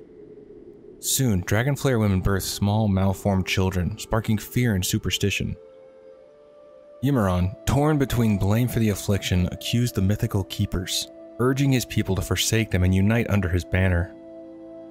A moral dilemma emerged among the Vrykul as some advocated for the extermination of these aberrations to preserve the purity of the Vrykul race. Others pleaded for mercy, recognizing that despite their weakness, these infants were still their children. In deep contemplation, the king reached a perilous conclusion, blaming the Titans for the curse. The Vrykul, believing this false narrative, abandoned their gods and outlawed Titan worship at Ymiron's command. The king sided with those calling for the death of the malformed infants, making the decree that parents must kill their afflicted children or face execution at Gjalerbron. While many obeyed this harsh command, some, unable to comply, departed from the Dragonflayer with their children. Thus, the king unwittingly played a role in the creation of what would become the human race. Faced with the persisting curse, Ymiron chose an extraordinary solution, putting his people into magical slumber to be awakened ages later Ymiron himself entered this enchanted sleep, alongside elite Vrykul warriors, awaiting a future awakening shrouded in mystery. In the icy battleground of Ice Crown, Vrykul clashed in the pit of Valhallas. The victors ascended to be the Ymirjar, an elite warrior rank crafted by King Ymiron in service of the Lich King. The defeated, however, faced a grim fate, transforming into Vargul, undead creatures bound to servitude. Amidst the war, Queen Angerboda, Ymiron's wife, sought to awaken him beneath Gjalerbron as Lich King's influence spread across Northrend. Their intent was to serve Vrykul's newfound death god together. Although adventurers thwarted Angerboda's plan, the Lich King intervened, transporting Ymiron to Utgard Pinnacle. Proving his worth, Ymiron was made undead, leading the Scourge-allied Vrykul against the Horde Alliance from his throne in Utgard Keep. As adventurers stormed the keep, the Vrykul king met his end at Ymiron's seat, making a defiant last stand. In the aftermath, Ymiron found himself being dragged down to Helheim, marking the end of his life among the living, but his story wasn't finished just yet. The fallen king stood on the cusp of the halls of valor in the afterlife, a place reserved for the mighty.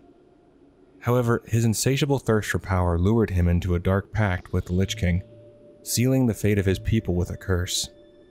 In the wake of his demise, the once open gates of the Eternal Halls remained shut to him. Instead, the damned king found himself on the desolate shores of the Maw of Souls, bound in service to Helya. Amidst the third invasion by the Burning Legion, Odin's mortal champion, the Battle Lord, led an assault on the Maw of Souls, bringing Ymir to his knees. Recognizing an opportunity for poetic justice, the warrior convinced Odin that forcing Ymir into his eternal service would serve as a fitting punishment. Thus, Ymir's destiny took a twist as he was ushered into the Halls of Valor to serve Odin for all eternity. Now, within Howling Fjord, each faction has two major settlements. Each of them has a decent backstory, so I decided to throw all of them in there. First, let's start with the Hordes, which consists of New Agamand and Vengeance Landing. Then the Alliance is Valgarde and Westguard Keep, boasting a distinct architectural style that is as dark and gothic as it is spindly.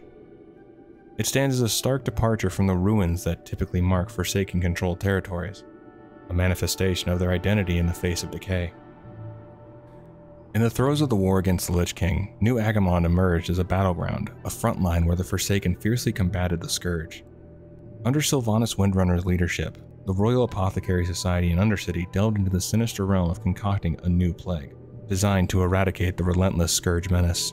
After years of clandestine research, the Forsaken were poised to unleash their ultimate weapon upon Arthas' forces, conducting a chilling test at New Agamand. The once vibrant surroundings of the town succumbed to a ghastly transformation, leaving the land barren and brown amidst the otherwise lush landscape. Later on, reports from the Bronzebeard brothers revealed a lingering presence in New Agamand. Despite the challenges faced, the Forsaken tenaciously maintained control over the town, an enduring symbol of their resilience in the face of adversity. The echoes of war may have faded, but New Agamand stands as a silent testament to the enduring spirits of the Forsaken. Nestled in the rugged northeast of Daggercap Bay and Utgard Keep, Vengeance Landing stands stoically as the military outpost for the Hand of Vengeance in the Howling Fjord. This Forsaken bastion, meticulously crafted and overseen by the indomitable Sylvanas Windrunner, serves as the Horde's vital gateway into eastern Northrend. With its own docks welcoming ships from Tirisfal Glades and a Zeppelin Tower facilitating connections between the Undercity, Vengeance Landing is the Horde's strategic foothold in the chilling expanse. The town's eerie visage, tainted by a sickly yellow hue that lingers over the surrounding vale, sets it apart even from a distance. However, the town faced an unexpected challenge when the Alliance orchestrated a daring ambush, establishing a camp just beyond its walls. The Horde soldiers found themselves thwarted by cannons strategically placed atop the fortifications, in a bid to turn the tide, an intrepid adventurer dispatched by a bat ventured to the besieged navy offshore. Collaborating with sailors under duress from the same ambush, they cleared the ship decks, allowing support guns to unleash a barrage against the enemy. Returning to solid ground, the adventurer played a crucial role in the conflict by launching flares, aiding in the targeting of naval guns against the Alliance defenses.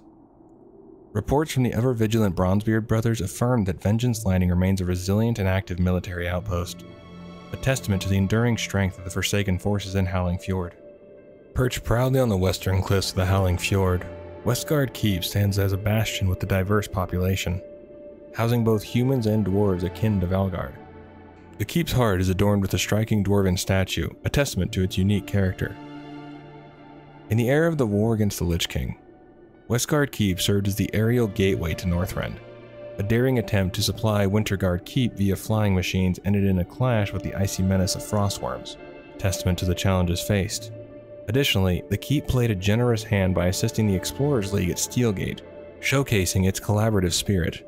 Anchored within its confines was a commandeered Goblin Zeppelin, the Lady Lug, adding an air of intrigue to the locale. The Keep saga continued during the trial of Garrosh Hellscream on Pandaria, where it faced an assault from the True Horde. The objective? To liberate the Goblin Harrowmeiser and commandeer the Lady Lug for their cause. The Bronzebeard brothers made their way to Westguard Keep. However, the local commander had little to report, aside from the Vrykul maintaining their distance and the Tuskarr diligently supplying the keep with a bounty of fresh fish. The keep, with its storied past, stood resilient against the ebb and flow of time, a unique tapestry woven with the threads of alliance, trials, and encounters with the unknown. Valgarde emerged as the initial haven for the fortunate souls who endured the treachery orchestrated by Arthas. A humble beginning, it sprouted as a modest settlement nestled along the shores of Daggercap Bay, boasting a reliable anchorage for those seeking solace in the aftermath of betrayal. As the Valiance expedition stepped into the scene at the onset of the war against the Lich King, Valgarde transformed from a quaint settlement into a bustling town. Nestled on the opposite bank of the river from Wyrmskull Village and Utgard Keep, the construction initially enjoyed the advantage of the dormant Vrykul, making navigation a breeze. Vice Admiral Keller took the helm of Valgarde in its infancy, back when it was a quiet and unassuming hamlet. The tranquility, however, was short lived. A month later, the awakening of Vrykul ushered in a new era marked by sporadic assaults. Dragonflayer Vrykul and their formidable war companions, along with the Proto Dragon Riders, descended upon Valgarde, unleashing chaos from both land and sky. Vice Admiral Keller vividly recounted We'd been here a month when those malformed giants appeared out of thin air. In the midst of these challenges, even the esteemed Marshal Gryan Stoutmantle found a temporary abode in Valgarde. Despite the turbulence, the Alliance's icebreaker, the North Spear, established a reliable link between Menethil Harbor and the wetlands and Valgarde, ensuring a seamless connection akin to gnomish clockwork. The once sleepy town had evolved into a dynamic hub, navigating the ebb and flow of an ever-changing landscape. The Bronzebeard brothers made a pit stop at the town. Seeking respite, they indulged in a few pints at the local inn, where they uncovered a shift in the town's priorities. The remaining soldiers had pivoted towards exploration and diplomacy. However, the tranquility was tempered by the persistent threat looming from nearby Wyrmskull village. Despite the newfound focus on diplomacy, the stout walls of Valgarde continue to bear the brunt of regular Vrykul attacks, adding an ongoing layer of challenge to the town's post-war landscape. During the war against the Lich King, the Howling Fjord harbored a dark secret. Dwarves from the Explorers League ventured into the chilling abyss, driven by curiosity. Those who lingered to explore unearthed Saronite, the crystallized black blood of the malevolent Yogg-Saron. The ore whispered sinister secrets, casting a maddening spell upon those who dared to delve too deep. The afflicted dwarves, driven to insanity by the Saronite's influence, left with the majority of their mules and equipment. Explorer Abigail, determined to reclaim the lost resources, dispatched Alliance adventurers on a daring mission to retrieve them. Sapper Sterling, initially captivated by the allure of ore and gems from the gulch, swiftly shifted his focus to gems alone upon hearing the warnings of the ore's malevolence. Within the gulch, the maddened explorers, led by the unfortunate Squeg Idolhunter, found themselves in the crosshairs of Westguard Keep. Meanwhile, a forsaken caravan passing through the area fell victim to the erratic onslaughts of the deranged dwarves. Apothecary Malthus suspected the influence of beer in their descent into madness and demanded a sample for further examination. The Forsaken, not once to shy away, dispatched horde adventurers to quell the madness in the gulch and collect the brains of the afflicted dwarves. In the chaotic aftermath, the gulch became a battleground of conflicting interests. The Bronzebeard brothers ventured to this haunted locale. To their dismay, Bran recognized some of the gibbering madmen as former members of the League, a revelation that stirred deep unease within him.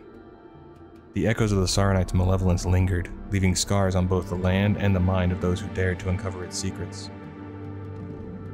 Nestled amidst the towering mountains of the Howling Fjord, Gjalerbron stands as a formidable Vrykul fortress, here, amidst the chilling winds, a sinister collaboration unfolds between the Vrykul and the Scourge.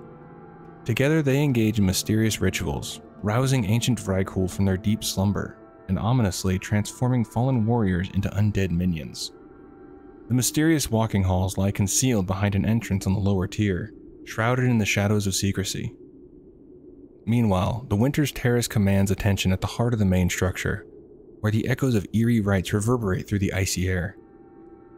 Intriguingly, a clandestine passage is quietly burrowing its way from the depths beneath Utgard Keep, leading to the cryptic depths of Gjalerbron.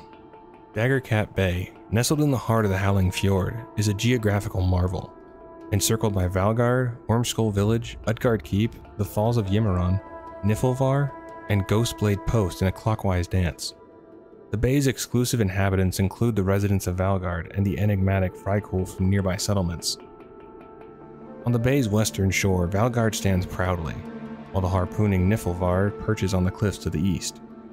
The lifeblood of the bay flows from Lake Cauldros through the majestic falls of Ymiron, with the iconic Utgard Keep poised on the tranquil lake surface. Beneath the frozen surface of Daggercap Bay, hammerhead sharks known as Daggercap hammerheads glide through the icy waters, adding an intriguing dimension to the bay's frozen tableau The intricate interplay of settlements, natural wonders, and aquatic inhabitants paints Daggercap Bay as a captivating centerpiece in the vibrant tapestry of the Howling Fjord.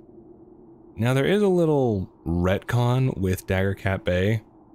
This was originally a place where Arthas had made landfall in his pursuit of Mal'Ganis, as was shown in Warcraft 3. But it was later retconned to have been in the Dragonblight at the Forgotten Shore. Chronicle later stated that Arthas made landfall in the Howling Fjord. Then again later in exploring Azeroth, Arthas' landing place was in the Forgotten Shore in Dragonblight. Nestled amidst the desolate embrace of Icecrown lies a realm shrouded in perpetual darkness and bone-chilling cold, where the once pristine glaciers have succumbed to a sinister corruption, rendering the ice itself a foreboding shade of black. Saronite structures weave through the landscape, forming ominous walls, gates, and towering walkways that link the strongholds of the Scourge.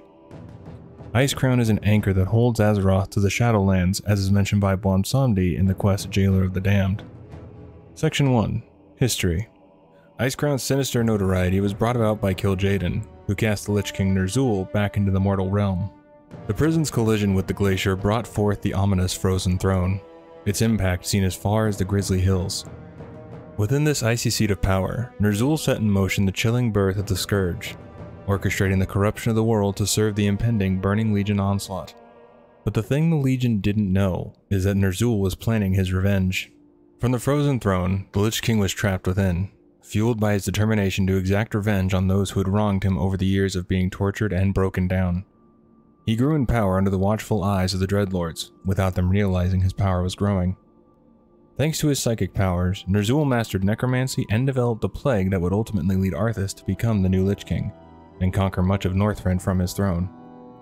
Along with that, Ner'zhul was able to have the Scourge and Dreadlords build the citadel we know today. Together, they planned to combat the Legion using the undead Scourge and purge Azeroth of the living, as they believed it was the only way to defeat the Burning Legion. In the aftermath of the Third War, the Scarlet Crusade, in a daring counteroffensive, approached Icecrown Citadel, yet their valiant efforts were met with ferocious resistance from the relentless Scourge. The casualties among the Scarlet Crusade's high-ranking officers, including Grand Admiral Barean Westwind and Captain General Orman of Stromgarde, stand as haunting testaments to the icy fortress's formidable defenses. Section 2 Wrath of the Lich King When the Alliance and Horde get involved with the battle against the Lich King, Icecrown had been scarred by the tremendous force unleashed when Arthas and the Lich King became one single being. The Scourge, with meticulous intent, fortified the desolate landscape, erecting colossal walls and formidable ramparts that now snake their way through the region. An imposing sentinel, Angrathar the Wrathgate, stands as a formidable barrier, warding off entry from the neighboring Dragonblight. Dominating the horizon, the reborn Icecrown Citadel casts its ominous shadow, a testament to the Scourge's relentless determination. The glacier itself, a heart of darkness, is shielded by three imposing gates Mord'rethar, Aldur'thar, and Korprithar, each a grim guardian against the intrusion of the uninitiated. Section 3 Aftermath after Arthas met his demise, the haunting expanse of Ice Crown was occupied with both Horde and Alliance forces navigating its icy corridors for weeks. A peculiar calm settled over the once tumultuous region, a respite earned by the firm grip of Bolvar Fordragon, who, wielding the Helm of Domination, held sway over the dormant Scourge forces, casting a tranquil hush over the frigid domain for years. Section 4 Shadowlands in a seismic turn of events, Sylvanas Windrunner shattered the Helm of Domination, tearing the very fabric of the sky over Icecrown. This rupture served as an otherworldly gateway, connecting Azeroth to the mysterious Shadowlands. From the ominous Maw guided by Herald Delora, the relentless Maw Swarm descended upon Icecrown, wresting control of the Scourge and the Cult of the Damned entrenched in the region. They orchestrated the resurrection of fallen Scourge champions, remnants of the brutal war against the Lich King. Faced with this existential threat, the Argent Crusade, along with the unlikeliest of alliances between Horde and Alliance, rallied once more. Their collective might was unleashed to defend the sacred Argent Colosseum, where a climactic battle unfolded against the resurrected champion strewn across the icy expanse of Icecrown. With the menace quelled, a united Horde and Alliance turned their gaze to the Frozen Throne, embarking on a perilous journey into the heart of the Maw. The fate of Azeroth hung in the balance as they ventured into the unknown depths determined to confront the mysteries that lurked beyond the Frozen Throne's icy facade. Now, I also wanted to go over some locations that I find interesting within Ice Crown. The first location is Ice Crown Citadel. The imposing Ice Crown Citadel, a monolith of the Northrend landscape, houses the world's largest undead army. Within its chilling walls reside the Lich King, a being with near divine power over his inexhaustible, seemingly limitless minions, and the determination to bring Azeroth to ruin. A campaign against this formidable fortress is one of the most perilous ventures in Azeroth's history, and the most crucial. The renowned champions, High Lord Tirion Fordring of the Argent Crusade, and High Lord Darion Mograine had united to spearhead the assault on Ice Crown's fortified barriers. Both the Horde and Alliance have paid a heavy price in lives, entire battalions in fact. Failure is not an option. The Lich King's rule must be terminated. In the climactic attack on the Citadel, it was the Argent Crusade who breached its barriers. They made great sacrifices, without hesitation, to witness the fall of the Lich King. Now, I'm also going to be working on a specific video about Ice Crown Citadel, because there really wasn't much on the lore of the Citadel, minus that it was built by the Dreadlords and the Scourge, and that the Lich King resides in there. So I'm going to work on a special video just for Ice Crown, but it'll be a hot minute before it comes out. It's going to be a little different than the other stuff, but hopefully you'll enjoy it when I eventually get it out there. We now travel northeast to Sindragosa's Fall. In the War of the Ancients, the Blue Dragonflight suffered a catastrophic loss. Many dragons plummeted to the earth, their bodies becoming entombed in what would later be known as the Icecrown Glacier. Among the fallen was Sindragosa, the beloved consort of Malygos, who perished in her desperate attempt to reach the Dragonblight the sacred final resting place of dragons. Centuries later, Arthas Menethil, the Lich King, stirred from his prolonged slumber and ventured to the site of Sindragosa's fall. There, he resurrected Sindragosa from her icy grave, transforming her into a formidable skeletal frost wyrm and commanding her to lead the Frost Brood into battle. In a cruel twist of fate, the Lich King reanimated the spirits of Sindragosa's lost offspring in front of her skeletal form a final insult to the once mighty dragon. As the war against the Lich King raged on, the area became infested with acolytes and members of the Cult of the Damned, who were busy raising more frostwyrms from the ice. The Frostbrood became the focus of quests here, with adventurers dispatched by Thassarian or Koltira Deathweaver to eradicate the cultist presence. During their mission, they crossed paths with Matthias Lehner, who offered them a chilling vision of the Lich King resurrecting Sindragosa in exchange for whelp bone dust. We continue on north to the Argent Tournament grounds. In the battle against the Lich King, the Argent Crusade declared the commencement of the Argent Tournament. This event aimed not only to instill a sense of unity among the constantly divided Horde and Alliance, but also to prepare a vast army for a strike on the Lich King's stronghold. More crucially, it was to identify the most skilled warriors who would then form a compact strike team to spearhead the invasion into Icecrown Citadel. The strategy of deploying a small team for the initial attack was based on the understanding that any significant loss of life would only strengthen the Scourge, potentially leaving the rest of the world vulnerable to assault. The tournament also served as an opportunity to mend scars from the catastrophe at Angrathar the Wrathgate, although it was arguably too early for such healing. Despite facing criticism, both King Varian Wrynn and War Chief Thrall, each accompanied by Jaina Proudmoore and Garrosh Hellscream respectively, made their presence known at these events and agreed to witness some of the tournament's challenges in the Crusaders' Colosseum. The Silver Covenant in the Silver Covenant Pavilion and the Sunreavers in the Sunreaver Pavilion represented both factions during the Argent tournament. Argent peacekeepers kept a watchful eye over the grounds, ensuring no conflict arose between the Horde and Alliance. Nonetheless, the tournament caught the Lich King's attention, who dispatched forces to cause disruptions in various ways, including assaults and abductions by the Cult of the Damned, the Black Knight's infiltration of the tournament, and attacks by Valkyr, partly in an effort to liberate some of their captured comrades, though they failed to cause any permanent harm. Near the end of the trial of the Crusader, the Lich King himself made an appearance in the Colosseum, reminding those present of the vast reach of the Nerubian Empire across and beneath the entire continent, before shattering the tournament grounds floor, plunging the Crusade's champions into a network of underground tunnels to face a resurrected Anub'arak. Despite the surprise attack, Anub'arak was defeated, marking the end of the Argent tournament and the commencement of the assault on Icecrown Citadel. During the events of Shadowlands, amid the Scourge's revival, the tournament grounds were subjected to a focused assault by the Scourge. transforming into the Crusade's primary operational base in the battle against the undead. The onslaught was as abrupt as it was unforeseen, leaving many Valiants injured, while the civilians did their best to defend the area. As a result, Justicar Mariel Trueheart called for reinforcements from the Crusades' forces in the Eastern Kingdoms and Kalimdor.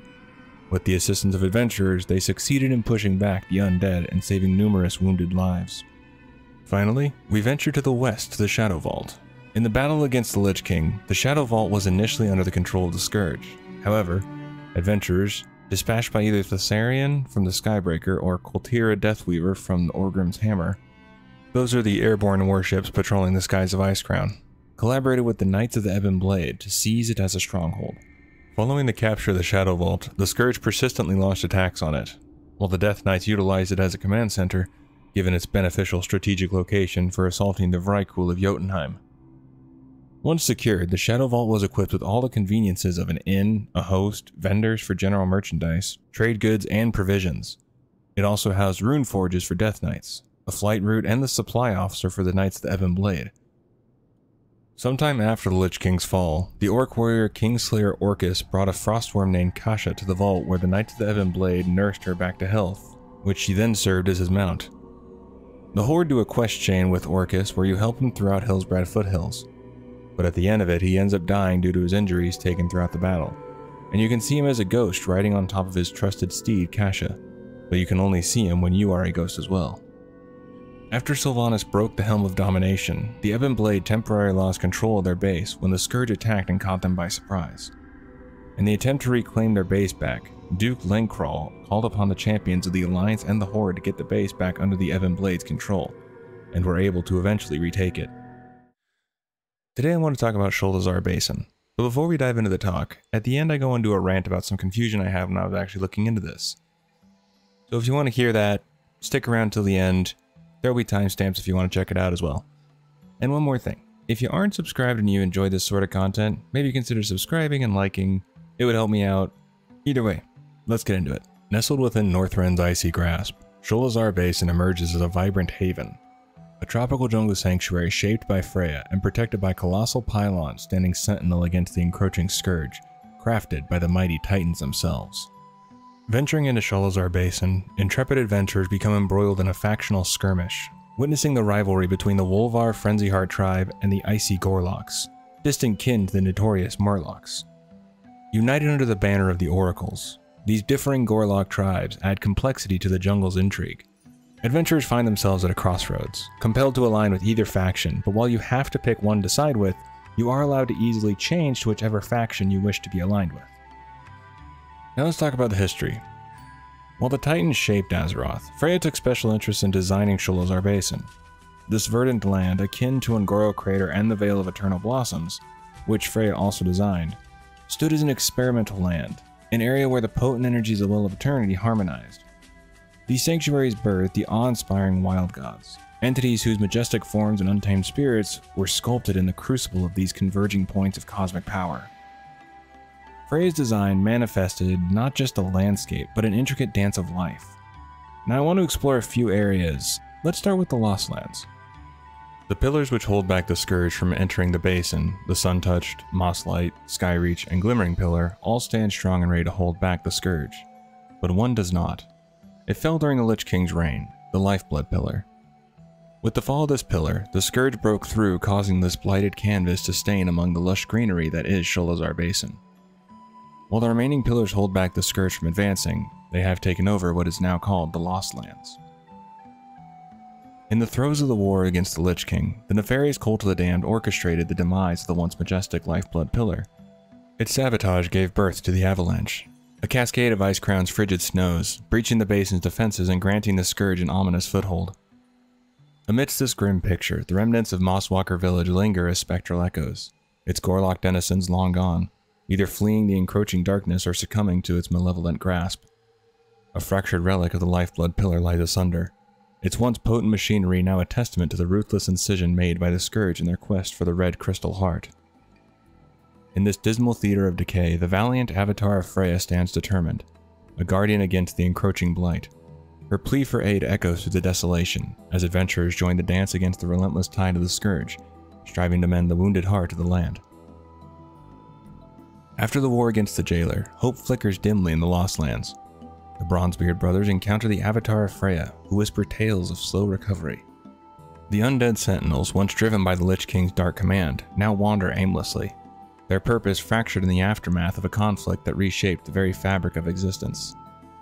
Now I want to discuss the two factions, the Wolvar and the Oracles. First we begin with the Frenzyheart tribe, the Wolvar.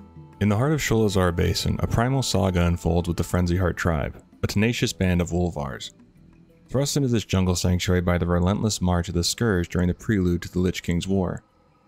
Nomads displaced from their ancestral lands, these Wolvars found an unlikely refuge in Sholazar Basin, determined to carve out a new home amidst the lush chaos.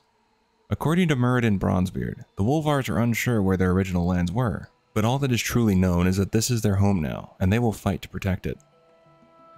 Despite their outward calmness, the Frenzy Heart's primal instincts clash fiercely with the Gorlok tribes, collectively known as the Oracles. This clash of civilizations adds a vibrant layer to the jungle's complex ecosystems, where alliances are as elusive as the shifting winds. To tread the path of the Frenzy Heart, adventurers embark on an odyssey, a quest chain commencing with playing along and culminating in the weighty A Hero's Burden. The choice between slaying Gorlocks or Wolvars becomes a pivotal moment, a fork in the road determining one's allegiance. Yet in this dynamic realm, choices aren't set in stone. This encounter can be revisited, a daily dance of shifting loyalties. Following the Jailer's War, the inquisitive Bronzebeard brothers ventured to Frenzyheart Hill. Astonishingly, the Wolvars greeted Bran as a prodigal ally, an unexpected reunion marked by camaraderie and jests. Around the crackling fire, they shared tales over a feast of roast crocolisk, illuminating a chapter where the complexities of friendship transcended even the boundaries of their own sworn rivalry with the Oracles. Now let's talk about the Oracles. In the heart of Sholazar Basin, the enigmatic oracles emerge as more than just a faction. They see themselves as the guardians of Titan mysteries, navigating the intricate dance between guardianship and the nebulous understanding of the artifacts that grace their jungle sanctuary. Entwined in a territorial ballet with the Wolvar Frenzyheart tribe, the oracles navigate the complexity of a war fueled not only by rivalry, but by the echoes of a shared social tapestry. While sworn foes of the Wolvar, the oracles mirror their adversaries in social structure, where warriors toil in the trenches, while the true cultural compass is held by formidable shamanic leaders, often bearing the revered title denoted by the word Soo, spelled S-O-O. In the shadow of the Lich King's War, adventurers embark on a narrative journey, ushered into the oracle's realm through the entrancing quest initiated by the part-time hunter. A delicate dance unfolds as allegiances shift from the frenzy heart to the oracles, a pivotal choice crystallizing the quest A Hero's Burden. At the end of the events of Shadowlands, the Bronzebeard brothers graced the Rainspeaker canopy, greeted with the warmth akin to the Frenzy Heart's reception in their village. The diplomatic finesse of Bran Bronzebeard transcended rivalries. As the oracles, intrigued by the Titan's kin, hailed Magni Bronzebeard as Thragar, a cryptic term resonating with the Titan origins.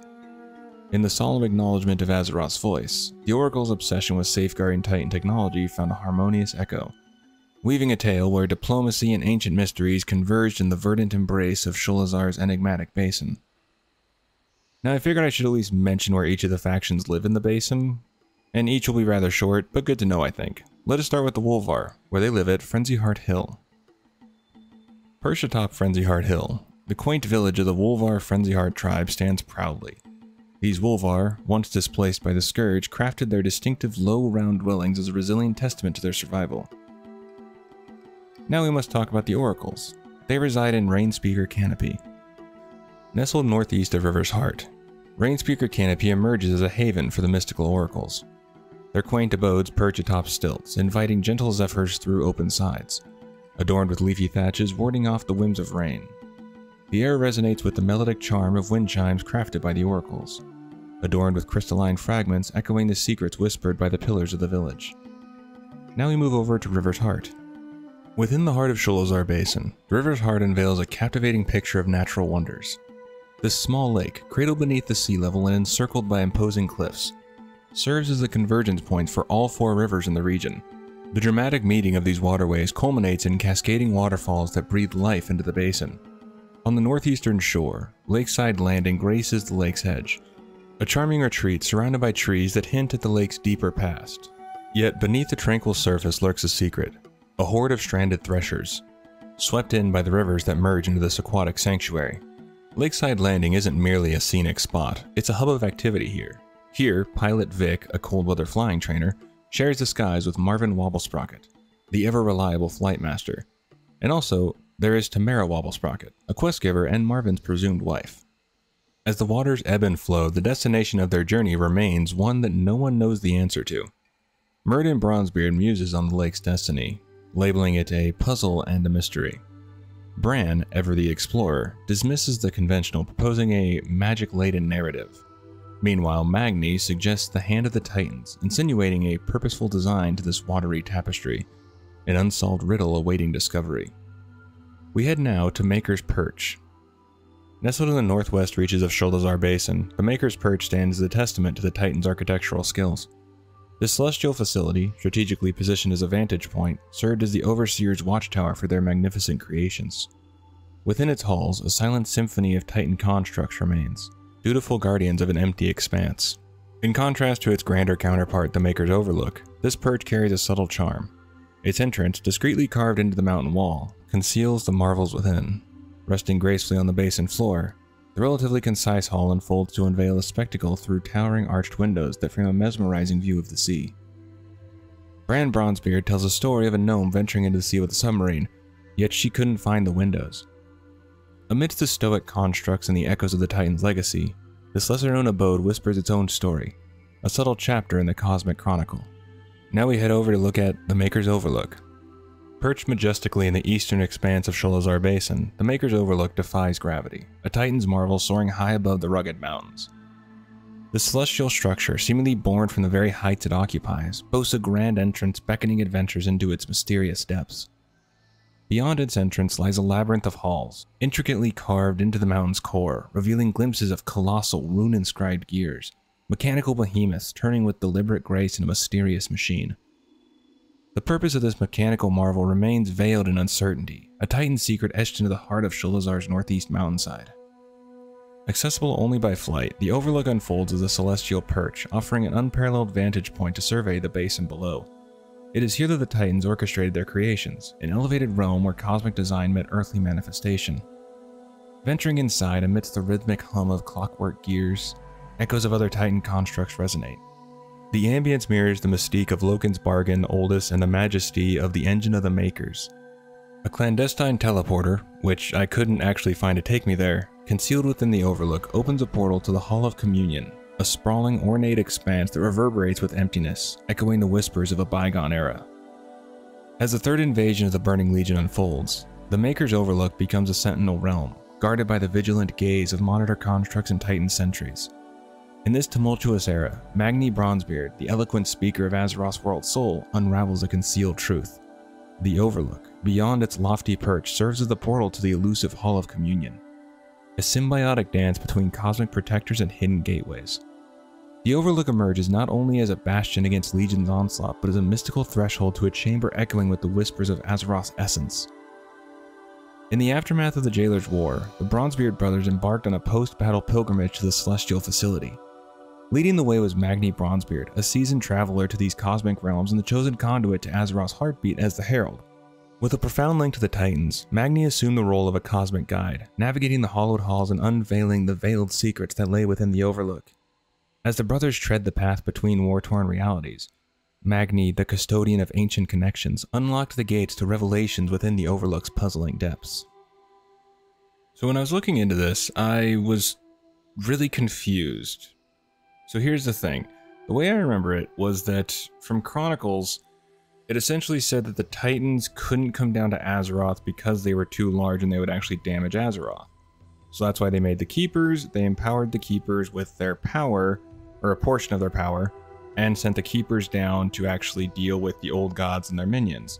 The only Old God that the Titans ever really dealt with personally was Y'Shaarj, if that's how you say his name basically Amun Aman'Thul reached down and just yoinked him off of Azeroth. However, he essentially tore Y'Shaarj in half, and his heart fell onto what is now the Vale of Eternal Blossom, which is what, you know, Warlords of Draenor, or not Warlords of Draenor, Uh, my brain is shot right now.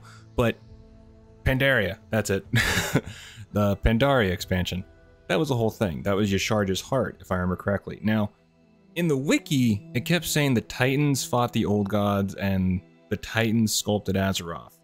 To my knowledge, the Titans didn't do a whole lot with Azeroth other than find Azeroth and then essentially say, hey, we got to protect Azeroth. Let's make the Keepers to go down there and actually fight and protect Azeroth. And then they gave the Keepers the Pillars of Creation to actually shape Azeroth as they see to benefit Azeroth for the better. I could be wrong here. I'm possibly wrong. I don't terribly know. So if you do know, if I'm wrong here, feel free to correct me and just let me know. Because, I say, the way I remember it is that the Titans didn't do a whole lot in comparison to the Keepers when fighting the old gods and actually like sculpting Azeroth. Because in my head, either A, I don't remember the. I don't really remember the Keepers needing to sculpt Azeroth a whole lot, minus a couple of zones like we talked about today with Vale of Eternal Blossom, Un'Goro, and Sholazar Basin, which Freya took upon herself to design and make her own, you know, protected area for the creatures. But otherwise, minus like certain creatures making mountains and stuff like that, I don't remember the Keepers or Titans doing a whole lot of molding of Azeroth. So I'll to reread Chronicles or watch other videos on it, but that was my major confusion with this, and that's why I kind of went with what the wiki said, but I want to talk about it at the end. so, if you remember it differently, if that's just how you remember it, where the Titans did a lot more than I'm remembering, please let me know. Maybe the wiki's right and I'm just remembering wrong, or I don't know. Either way. Along with that, one more thing that I was a little confused about. So, one of the things that the wiki says is that that the wild gods emerged from these three locations, Un'Goro, Sholazar, and Vale of Eternal Blossoms. There really isn't a set reason for why the Well of Eternity's power came together here. My first guess was that they were actually really close to each other, like right around the Well of Eternity before the Sundering. However, I was very wrong. Because then I looked at the map and then I realized, oh yeah, that's not right at all.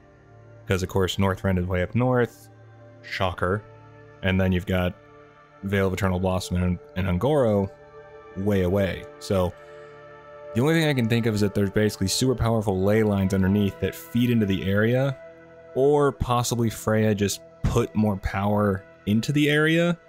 That way that they could be more protected from outside threats. Either way, I'm not terribly sure. And along with that, I'm not sure if the pylons were actually crafted by the Keepers or the Titans. Which again just goes back to my question of how much the Titans actually did for Azeroth other than making the Keepers, sending them down there, and letting the Keepers make their minions to actually go on and help. So yeah, that was my conniption fit that I was having for at least a day trying to figure this out. The Storm Peaks, a mountainous haven that demands utmost caution. Here, the biting cold has the power to turn anyone into a human icicle, and the relentless winds are notorious for sweeping folks right off towering cliffs. These peaks, among the loftiest in the northern realms, stand shoulder to shoulder with the mighty Thaldraszus, which is the seat of power of the dragon aspects on the Dragon Isles. Venturing into the Storm Peaks is no light-hearted affair, as high winds and unpredictable avalanches make it a playground for risk takers. The wise sons of Hodir strongly advise travelers to bring along at least two companions, emphasizing the importance of safety in this treacherous terrain. Bearing the indelible marks of the Titan Forged Keepers, many mountains in the Storm Peaks resonate with ancient power. Notable among these peaks is the Temple of Storms, the dwelling place of the Titan Watcher Thorim. As if that weren't impressive enough, the legendary Titan city of Ulduar, a marvel in its own right, also finds its home nestled within these icy peaks. The storm peaks, with their daunting heights and mystical ties to the Titans, stand as a testament to both peril and wonder to the frosty corners of Northrend. The mighty North Wind once reigned supreme over the storm peaks, holding the land and its inhabitants, including the Taunka tribes, tightly in its grasp. In a courageous bid to free his people from the oppressive rule of the Northwind, Stormhoof, a valiant Taunka hero and the sibling of Chieftain Swiftspear from Camp Tunka'lo, engaged in an epic battle on the Plain of Echoes.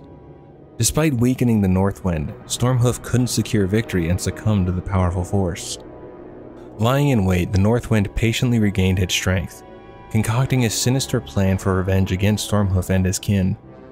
Instead of confronting them directly, it opted for a more devious strategy to rewrite history itself. The Northwind schemed to erase Stormhoof from the records of time, manipulating the timeline to ensure its continued dominance over the Storm Peaks. The recorded history of Tunka'lo underwent a malevolent change, depicting Stormhoof not as the liberator of his people, but as a villain, executed for his so-called crimes. Thus, the Northwind sought not only to conquer the physical realm, but also to control the narrative, perpetuating its reign through the manipulation of the past.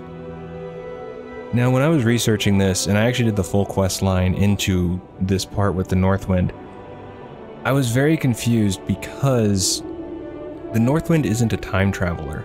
From what I understood, basically, the Northwind killed Stormhoof, and after he had killed Stormhoof, what he did is he didn't necessarily like change the timeline as they're kind of phrasing it. He just erased the history books. He changed the history books. So I don't know if it's just weird wording or if I'm just misunderstanding stuff, but that's kind of how I saw it when I was looking into this and when I did the quest. Because it seemed more like he didn't really change the timeline, like go back in time. He just realized that he could change the narrative to make Stormhoof look like the bad guy, and the Northwind look solid, look like the hero. So I'm not really sure if I'm just misunderstanding something or if I just missed something in when I was doing the quest or what, but just it seems like saying that they manipulated the timeline just seemed off. Either way, that was my little gripe with it. I thought it was a cool quest though. I did think it was cool. Now let's get into some locations in Storm Peaks. I figure we can start with the main camps for the Alliance and Horde. First, let us start with the Horde, who have a base at Camp Tunka'lo. Perched atop the lofty mountains in the eastern Storm Peaks, Camp Tunka'lo is a quaint Taunka village with a unique vantage point. On one side it overlooks Dun while on the other side it gazes upon the Plain of Echoes, home to the Shattered Titan Temple of Life. This secluded spot has proven to be a sanctuary, shielding the village from the ravages of scourge attacks that have laid waste to many other Taunka settlements. The Bronzebeard brothers paid a visit to this remote village, initially met with cautious sentries, who observed from a safe distance. The dwarves' distinctive appearance raised eyebrows. Once recognized as not earthen or iron dwarves, a sense of politeness prevailed. Sensing the delicate balance, the dwarves, respectful of the villagers' space, chose not to overstay their modest welcome. Thus, Camp Tunka'lo remained a tranquil haven, where the meeting of worlds added a subtle touch of intrigue to its mountainous embrace. Next, we move over to Frosthold. Nestled in the southwestern reaches of Storm Peaks lies Frosthold, an alliance town harmoniously aligned with the Frostborn. This frosty haven is situated to the south of the Temple of Storms, and northwest of K3, perched on the same mountain as Stormcrest. Here, an entire race of frost dwarves call this icy retreat home, creating a unique settlement that sprawls around a colossal pit of ice atop the towering mountain. Reaching Frosthold isn't a stroll in the snowy park. It requires taking to the sky since there's no accessible path on foot. The Bronzebeard brothers made their way to Frosthold, where the Frostborn warmly welcomed Muradin Bronzebeard. They actually had found Muradin and helped him heal when Arthas left him to die there, so he has a kinship with them ever since. Or as his friend Fjordland said to him, it's good to have two homes. You'll always have a hearth to sleep at. The visit unfolded with presentations, a hearty feast, and an evening of camaraderie, marked by shared drinks and stories. As night fell, Muradin, in a moment of trust, expressed his confidence in leaving the Frostborn in capable hands. Guided by the historian of Frosthold, he delved into the tale of an encounter between Mina Stormsmith, who was an ancestor of the brothers and the Frostborn, a saga dating back 500 years. In the heart of Frosthold, history and kinship intertwined, creating a memorable chapter in the frosty highlands of Storm Peaks. Perched above the enchanting snowblind terrace in east of Sifreldar village, Brunnhildar village is a frosty haven in the southern expanse of Storm Peaks. Here, the formidable Frost Vrykul tribe, Hyldnir, establishes its stronghold. In a fascinating departure from the Valkyrion sisters, the Hyldnir resisted the allure of the Lich King's offer, steering clear of the Scourge's ranks. The mountains surrounding the village cradle the nests of the proto-drakes they skillfully ride. Within the village, a unique social order prevails strict matriarchy. Men, in their view, find purpose mainly in labor, often relegated to the forlorn mine, located to the north, either voluntary or as captives. At the village's heart lies the Pit of the Fang, a battleground where they engage in fierce contests atop polar bears during the Hyldsmeet. This spirited competition determines the Hyldnir, who will rule alongside the esteemed keeper Thorim, Intriguingly, the region was once home to the Xanasu clan, embarking on a quest for powerful magic to defy the Lich King. However, their journey remained shrouded in mystery, as the clan never returned from their quest, leaving behind a mysterious legacy in the frosty landscapes of Storm Peaks.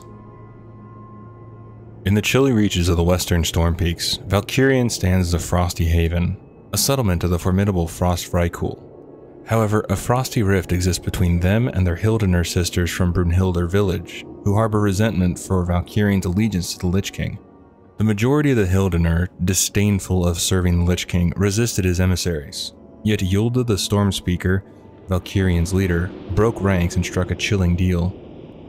In exchange for pledging her village's allegiance, the Lich King granted her a transformation into a Valkyr, once in league with the Scourge during the war against the Lich King, the Hyldnir of Valkyrion took on a sinister role. Their task involved capturing proto-drakes and their eggs, leading them to the Blighted Pool.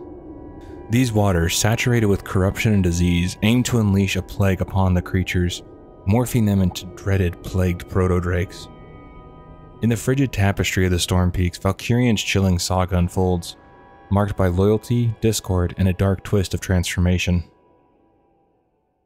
Nestled just north of Frostfield Lake lies Thunderfall, an imposing sight, a colossal and hushed burial ground haunted by wandering spirits.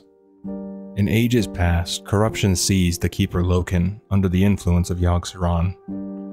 Loken's heinous act involved the murder of his brother's wife Sif, and a cunning scheme to frame King Arngrim and the Frost Giants for the crime. Thorim, consumed by wrath, hurled his mighty hammer Krolmir at Arngrim during a fierce battle with Frost Dwarves. The following explosion froze the chaotic moment in time, capturing the shockwave that sent dwarves airborne and claimed many lives. In a final act, Arngrim enchanted Krolmir with a rune, ensuring it remained beyond anyone's grasp. Centuries later, during the conflict against the Lich King, Thorim, aided by adventurers loyal to the Sons of Hodir, unraveled the truth. Filled with remorse, he pledged to confront Loken and sought the adventurer's aid to redeem himself and rebuild the trust with the Frost Giants. At Thunderfall, with the adventure's support and the agreement of King Jokkum, Thorim apologized for his past transgressions, and the Frost Giants forgave him, allowing Thorim to reclaim his once lost hammer. The Bronzebeard brothers explored the area, with Muradin reflecting on Thunderfall as evidence of the fallibility inherent in the Keepers and their creations. In the heart of the Storm Peaks lies the intriguing Terrace of the Makers, a realm nestled in the north-central expanse just beyond the chasm from Ulduar.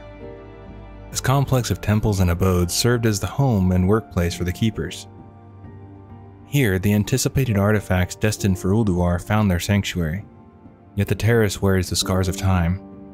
Its once majestic path of the Titans lies broken, walkways shattered, and columns cracked or missing.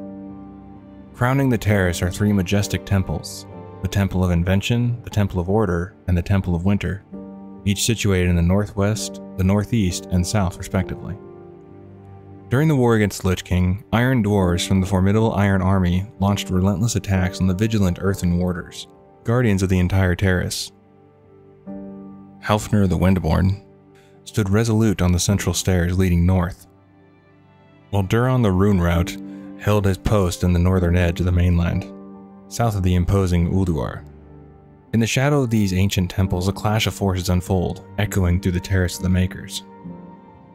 Perched atop the loftiest peak in the Storm Peaks, the Temple of Storm stands shrouded in mystery, a testament to the Titan's ancient craftsmanship. Snow delicately blankets its columns, and its open roof frames the sky, allowing the dance of northern lights to intertwine with the stars. Even under the clear skies, the crackle of lightning weaves through the air, creating an ethereal ambience. This sanctuary is the domain of Thorim, the Storm Lord and guardian of the temple. Haunted by the loss of his wife Sif, who fell victim to the treachery of his own brother Loken, Thorim sought solace within these sacred walls for countless years. Little did he know that his eventual war against the betrayer was a cunning ploy by Loken to lure him away, enabling Yogg-Saron and Ulduar to ensnare him, driving him into madness. After the reckoning, Thorim's vacant throne echoed the absence of the Stormlord, who had been taken into Ulduar to be corrupted by Yogg-Saron. In the aftermath of the war against the jailer, the vigilant Bronzebeard brothers paid a visit to Thorim in his mountainous abode. Ensuring his well-being, they delved into inquiries about his loyal companion, his pet wolf, Skoll, and the whereabouts of Jotun. Amidst the whispers of ancient mysteries, the Temple of Storms remained a sanctuary where past sorrows and present concerns converged. He says he hasn't seen either of them, but hopes Skoll will find his way home soon. Now, who is Jotun? Jotun is the cherished companion of Keeper Tyr through countless ages. She had a profound bond with the Keeper. When Galakrond devoured Tyr's hand, an unyielding friendship led them to embark on a quest within the depths of Azeroth. Together, they unearthed a precious silver vein from which Jotun crafted a remarkable prosthetic silver hand for the Keeper. Intriguingly, at Tyr's request, Jotun inscribed the Keeper's new symbol onto his warhammer, forever naming it the Silver Hand. When Tyr and his followers sought refuge in the south of the stolen disc of Norgannon, Jotun opted for a different path. Motivated by the ideals of personal sacrifice embraced by the Keeper, he remained behind to divert Loken's attention, facilitating the escape of Tyr's allies. Unfortunately, this act of heroism led to Jotun's capture, and Loken, with malice, cursed his mind, Bound by the curse, Jotun became an unwilling instrument, compelled to scour the lands around Ulduar, now Northrend, to obliterate Tyr, his symbols, and those who embraced his ideals. In a tragic twist, Jotun's first act under the curse shattered the very anvil that had shaped Tyr's silver hand and transformed his hammer. Cursed to be unable to die, but wishing to have his nightmare end. During the third invasion of the Burning Legion, Galford, a valiant member of Tyr's guard carrying a luminous spark of Tyr, embarked on a daring journey to the frosty lands of Northrend. His mission, to seek assistance in reclaiming the legendary Silver Hand from the forsaken grounds of Tyr's Fall. Guided by the radiant spark, Galford traversed the path of the Titans, where an unexpected encounter awaited him, the Watcher Jotun. Unbeknownst to Galford, the spark withheld a crucial detail about Jotun's cursed fate. In a tragic turn of events, Jotun, ensnared by the Watcher's curse, slew Galford and claimed the spark. However, the tale took an unexpected twist when Lanagosa, a majestic dragon and a valiant paladin adventurer joined forces to track down Galford's assailant. In a fierce confrontation, they confronted Jotun, and the ensuing struggle briefly liberated his mind from the clutches of Loken's curse.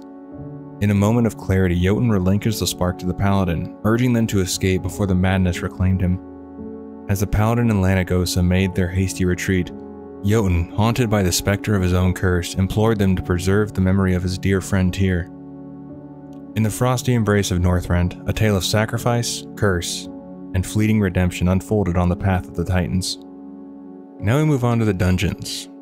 First, we enter the Halls of Stone. Within the Halls of Stone, there are four bosses along with the Forge of Wills. Before delving into the details, we unravel an intriguing tale about an ancestor of the Bronzebeard brothers. The story unfolds when they ventured to visit Ulduar after concluding the war with the jailer. Their exploration unearthed the lingering presence of iron doors within the mysterious halls of stone. Intrigued by the mysteries of their ancestry, the brothers engaged one of the nameless iron doors in conversation, seeking insights into the journey of their ancestor, Mina Stormsmith.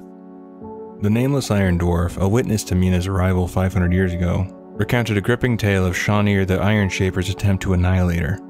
Mina had approached Ulduar with a heartfelt plea to resurrect her fallen brother. However, the cold logic of the Iron Dwarves deemed her request unacceptable, as she was made of flesh and she was seen as weak in their eyes, leading Sjonnir to command her execution. Undeterred, Mina valiantly battled successive waves of Iron Dwarves until her trusty axe shattered in the relentless struggle. In a moment of divine intervention, a spirit bathed in blinding light intervened, rescuing her from the clutches of death. With renewed determination, Mina grasped her broken weapon and fought her way out of the formidable depths of Ulduar, leaving behind a legacy of resilience and the echoes of a celestial rescue. Now within the Halls of Stone you have four bosses, the Maiden of Grief, Krystallus, Tribunal of Ages, and Sjonnir the Iron Shaper. First let's talk about the Maiden of Grief. Loken may rule over the dominion of Ulduar, but not every inhabitant is a loyal follower. The Maiden of Grief, burdened with the grim task of thwarting those attempting to reclaim the Halls of Stone, carries out her orders reluctantly. She is a good soldier. A tinge of sorrow colors her actions as she turns against former allies, yet she wields her sorrow-forged weapons with a fierce determination, blending the pain of her heartache into a fearful purpose. We next find Krystallus. In the realm of war, victory isn't solely a product of strength, but a result of formidable armies. Embracing this fundamental truth, Loken issued an order to craft steadfast stone constructs, augmenting the might of his legions. Tasked with overseeing this monumental operation is Krystallus, a formidable force poised to crush any intruder daring to jeopardize its crucial mission. After the thievery of the Dis of Norgannon by Tyr, Archaedas, and Ironaya, Loken devised the Tribunal of Ages as their successor. Crafting a narrative to conceal his own misdeeds, he tailored historical events within the tribunal to suit his preferences. Yet this archive, meant to be a seamless cover-up, turned out to be inherently flawed. The histories contained within took on a life of their own, twisting even beyond Loken's grasp of understanding. Consequently, the Tribunal of Ages stands as a testament to the muddled echoes of history, far from being a reliable record. Now the final boss is Sjonnir the Iron Shaper. Serving as one of Loken's most trusted lieutenants, Sjonnir the Iron Shaper assumed the role of Master of the Forge of Wills. Sjonnir, with an apparent zeal, eagerly crafted iron creations to please his master, Fond of boasting about the perceived weakness of the earthen beings and considering flesh creatures frail, he held a disdain for them. As the war against the Lich King unfolded, Sjonnir met his demise at the hands of the Alliance during their raid on Ulduar. His once formidable dagger, the Flesh Shaper, ended up in the possession of those he had deemed so fragile. Now a quick little mention of the Forge of Wills and the Forge of Origination, but I'll go into a more detailed explanation on each when I do a video on the Titans and the Keepers. The Forge of Wills, as mentioned before, which is located within the Halls of Stone, can draw on the life essence of Azeroth itself, giving shape and sentience to creatures of living stone and metal. The Forge of Origination, which is located in Uldum to the south, would be used to cleanse the planet if the flora and fauna became corrupted and could be activated by Algalon the Observer so the planet could start anew. Now we move on to the Halls of Lightning. Nestled in the vast Titan city of Ulduar, the Halls of Lightning, situated in the east, served as the ominous workshop of the duplicitous Loken. Once a loyal servant of the Pantheon and a prime sentinel, he now toiled in treachery, churning out legions of iron Vrykul to execute his Dark Master's sinister designs. From his imposing throne, Loken orchestrated his forces, flanked by storm and fire elementals along with his most formidable servants and commanders. In the heart of his formidable domain, adventurers faced the ultimate showdown, challenging Loken in his last stand. The echoes of battle sounded through the halls of lightning, marking the decisive moment when the treacherous Prime Sentinel met his ultimate defeat. Now within the halls of lightning you have four bosses, General Bjarngrim, Volkhan, Ionar, and Loken. First let's start with General Bjarngrim. In the mighty legion of Loken's iron forces, one figure towers above them all, the indomitable General Bjarngrim. At the forefront of Loken's halls of lightning, this Iron Commander ruthlessly enforces his master's dominion, ensuring that any intruders in their path meet a swift and uncompromising end. Now the next boss you encounter is Volkhan, and he has quite a longer backstory than the others, basically the same length as Loken. We start back in the Winterskorn War. As far as the time frame for the Winterskorn Wars, I hadn't found an actual time date, like 500 years before the Dark Portal type of things for some dates. This one just gave me many years after Loken's betrayal, so take with that what you will. And if you actually find a date, uh, let me know, because I wasn't able to find one. But let's talk about the Winterskorn Wars. In the vast expanse of the storm peaks surrounding Ulduar, Volkhan and Ignis eyed a land ripe for conquest, their fiery ambitions ablaze.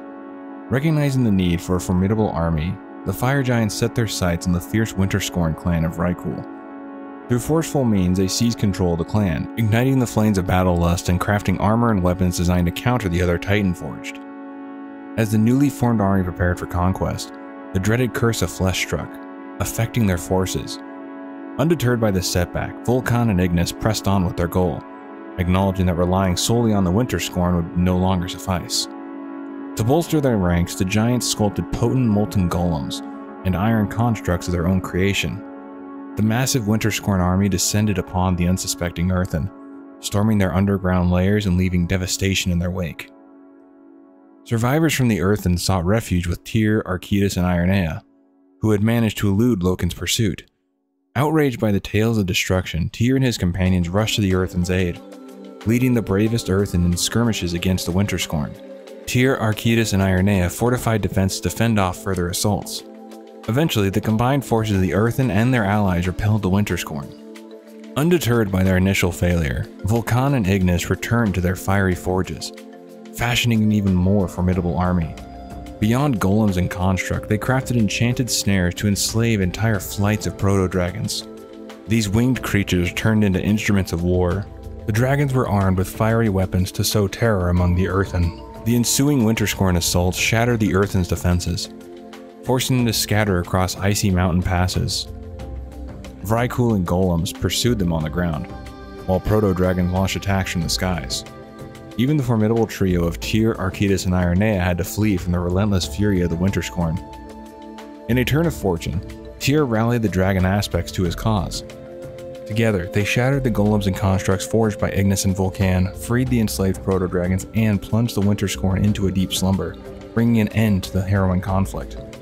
Amid the war against the Lich King, Volkhan, following Loken's orders, found his dwelling within the Halls of Lightning, nestled in the Iron Crucible, Tirelessly toiling day and night, he dedicated himself to crafting golems, amplifying the ranks of Loken's formidable armies. The relentless endeavor posed a severe threat to the sons of Hodir, who deemed him a danger and issued a decree for his demise. Now we move on to Ionar. Loken doesn't lean solely on his iron minions for personal defense. Instead, he harnesses the raw power of lightning itself. In a curious alliance, Ionar and its companions found refuge within the Halls of Lightning, offering unwavering loyalty and a readiness to ruthlessly eliminate any who dare challenge their newfound master. Now we move on to the one who caused so much trouble for us on Azeroth and the other keepers, Loken. With him I figure it works to go into his full backstory, and the others will get their stories told when I do a video on them and the Titans.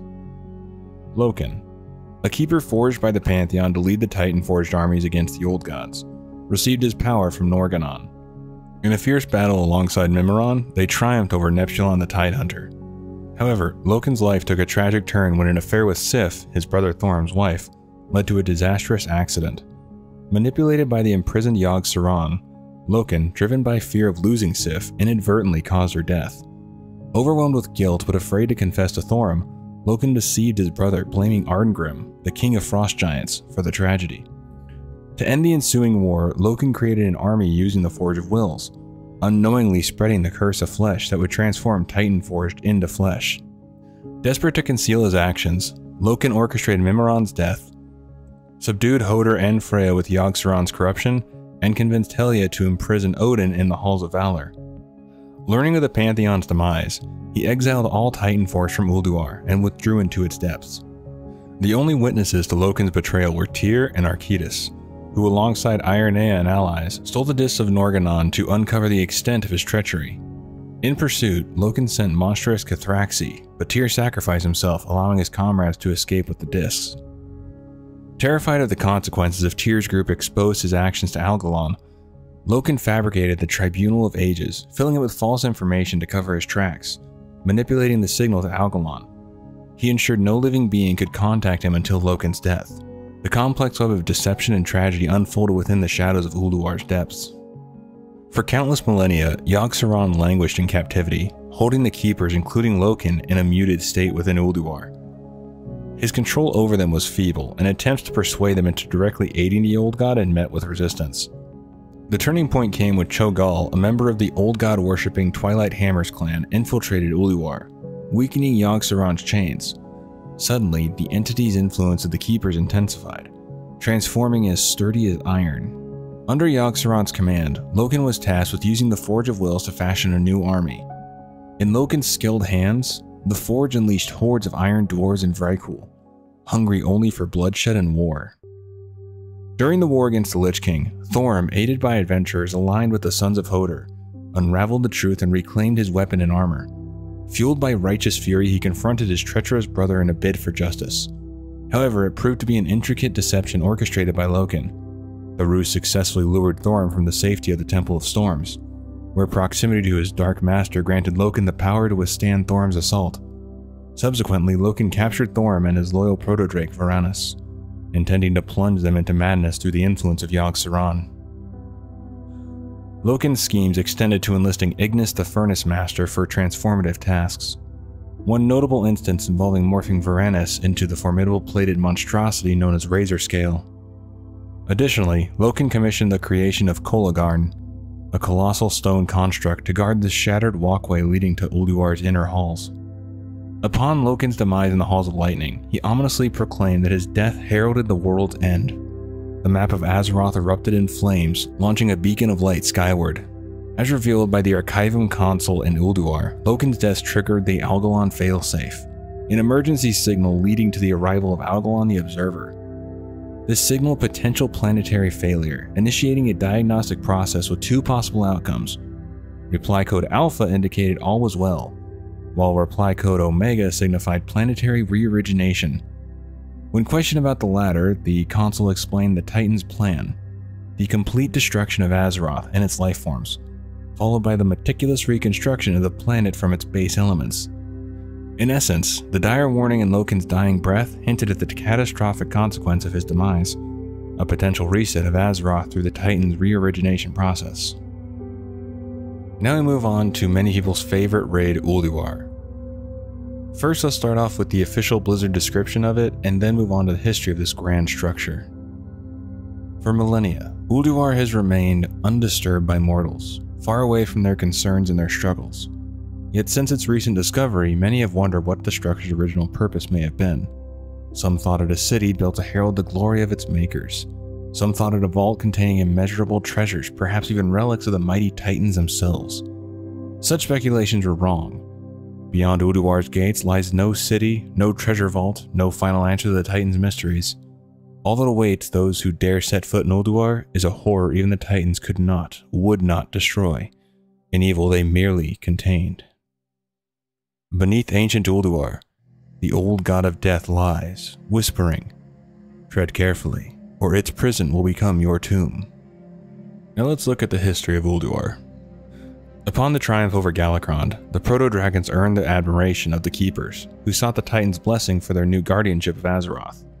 However, Odin, the resolute Prime Designate and leader of the Keepers, harbored distrust toward the Proto-Dragons, preferring his vision of an elite force characterized by unwavering valor. He set his sights on the Vrykul, offspring of the Titan Forged, as the ideal candidates for his army. Despite the objections from other keepers, Odin remained steadfast in his pursuit of this unique endeavor. Within the hollowed halls of Ulduar, Odin designed a section to serve as the headquarters for this envisioned army. Within the hollowed halls of Ulduar, Odin designed a section to serve as the headquarters for his envisioned army. Calling upon his friend and Titan forged sorceress Helya, he harnessed her power to separate this portion of Ulduar and suspend it in ethereal skies above Azeroth. This celestial abode, known as the Halls of Valor, became the dwelling place of the formidable Valarjar, and the ultimate reward for the most deserving Vrykul warriors who were summoned to serve Odin eternally. While Ulduar dutifully contained Yogg-Saron, its performance was incomplete, allowing the old god's malevolent influence to seep through. Yogg-Saron's dark essence permeated the continent, crystallizing into Saronite and corrupting everything it touched. His insidious whispers accompanied the spread of Saronite, tempting countless souls into madness, including the Keeper Loken.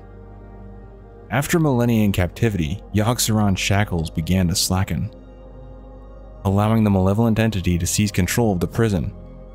Following his insidious commands, Loken launched an assault on the city, wresting control from the resident Earthen and populating the Forge of Wills with iron dwarves and Vrykul.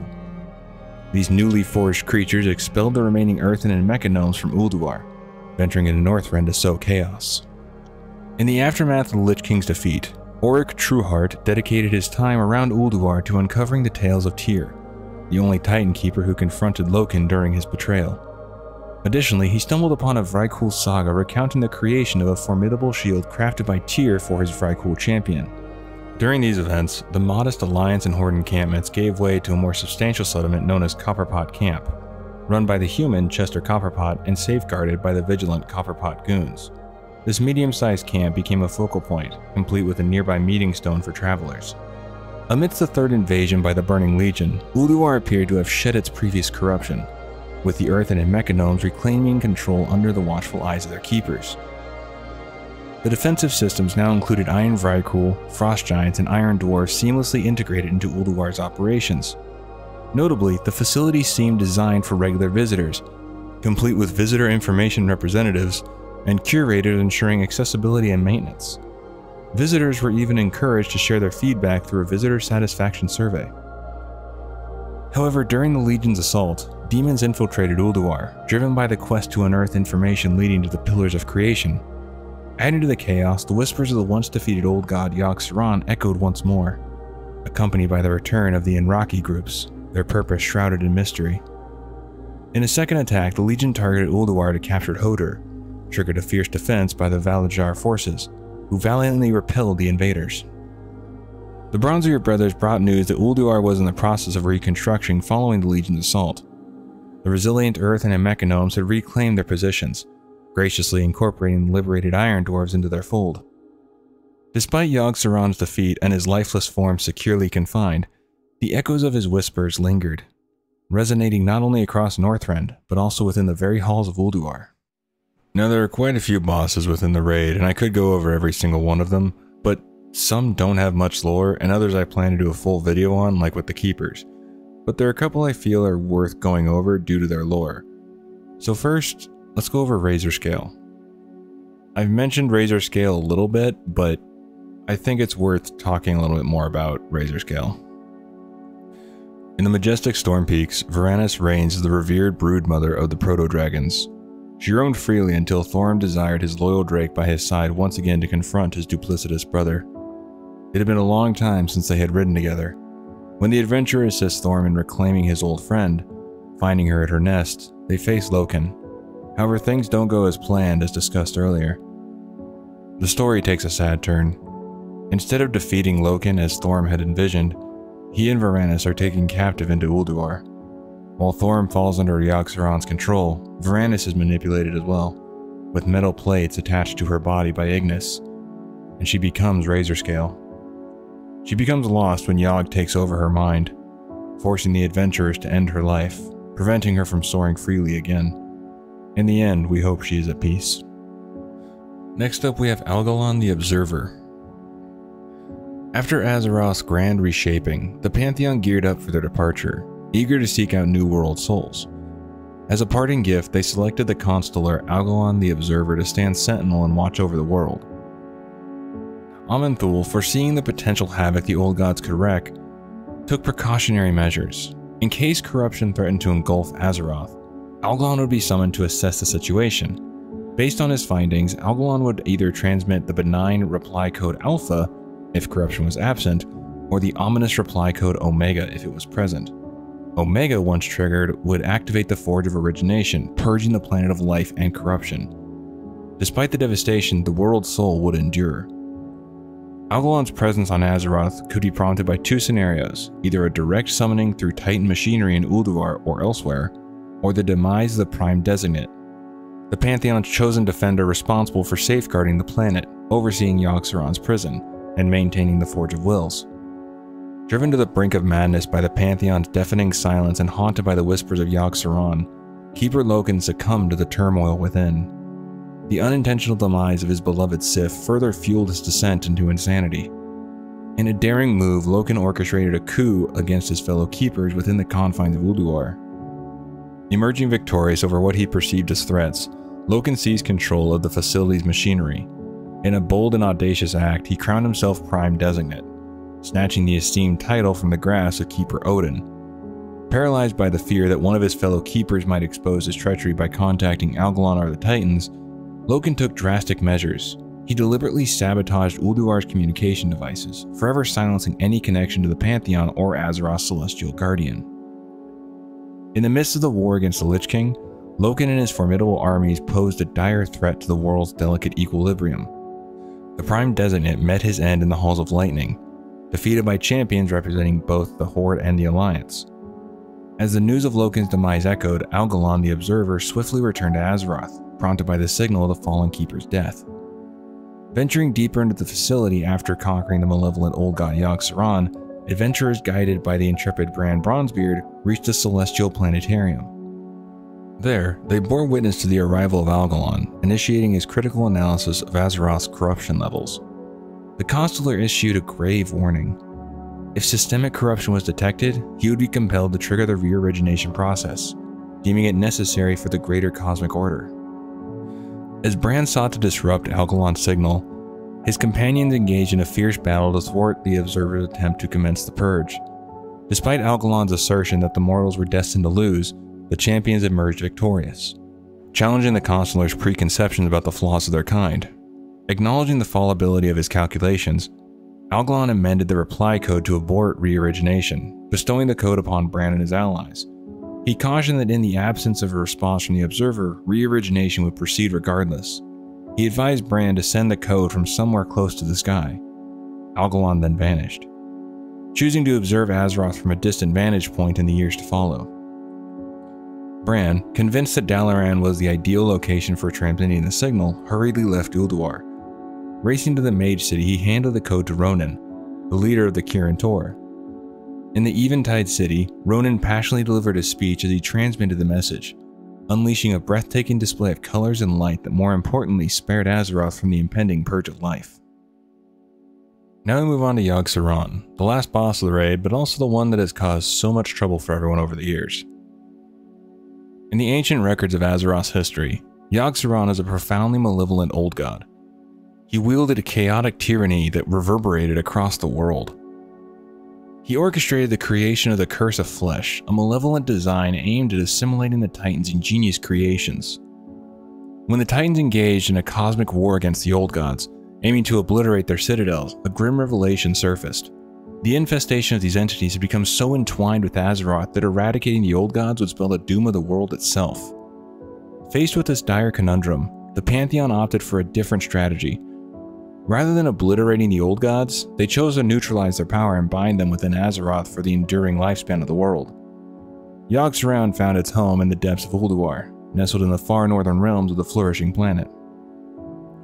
Six Titanic Watchers, Loken, Thorim, Hodir, Tyr, Mimiron, and Freya, were appointed as vigilant custodians, tasked with ensuring the near eternal captivity of this malevolent force.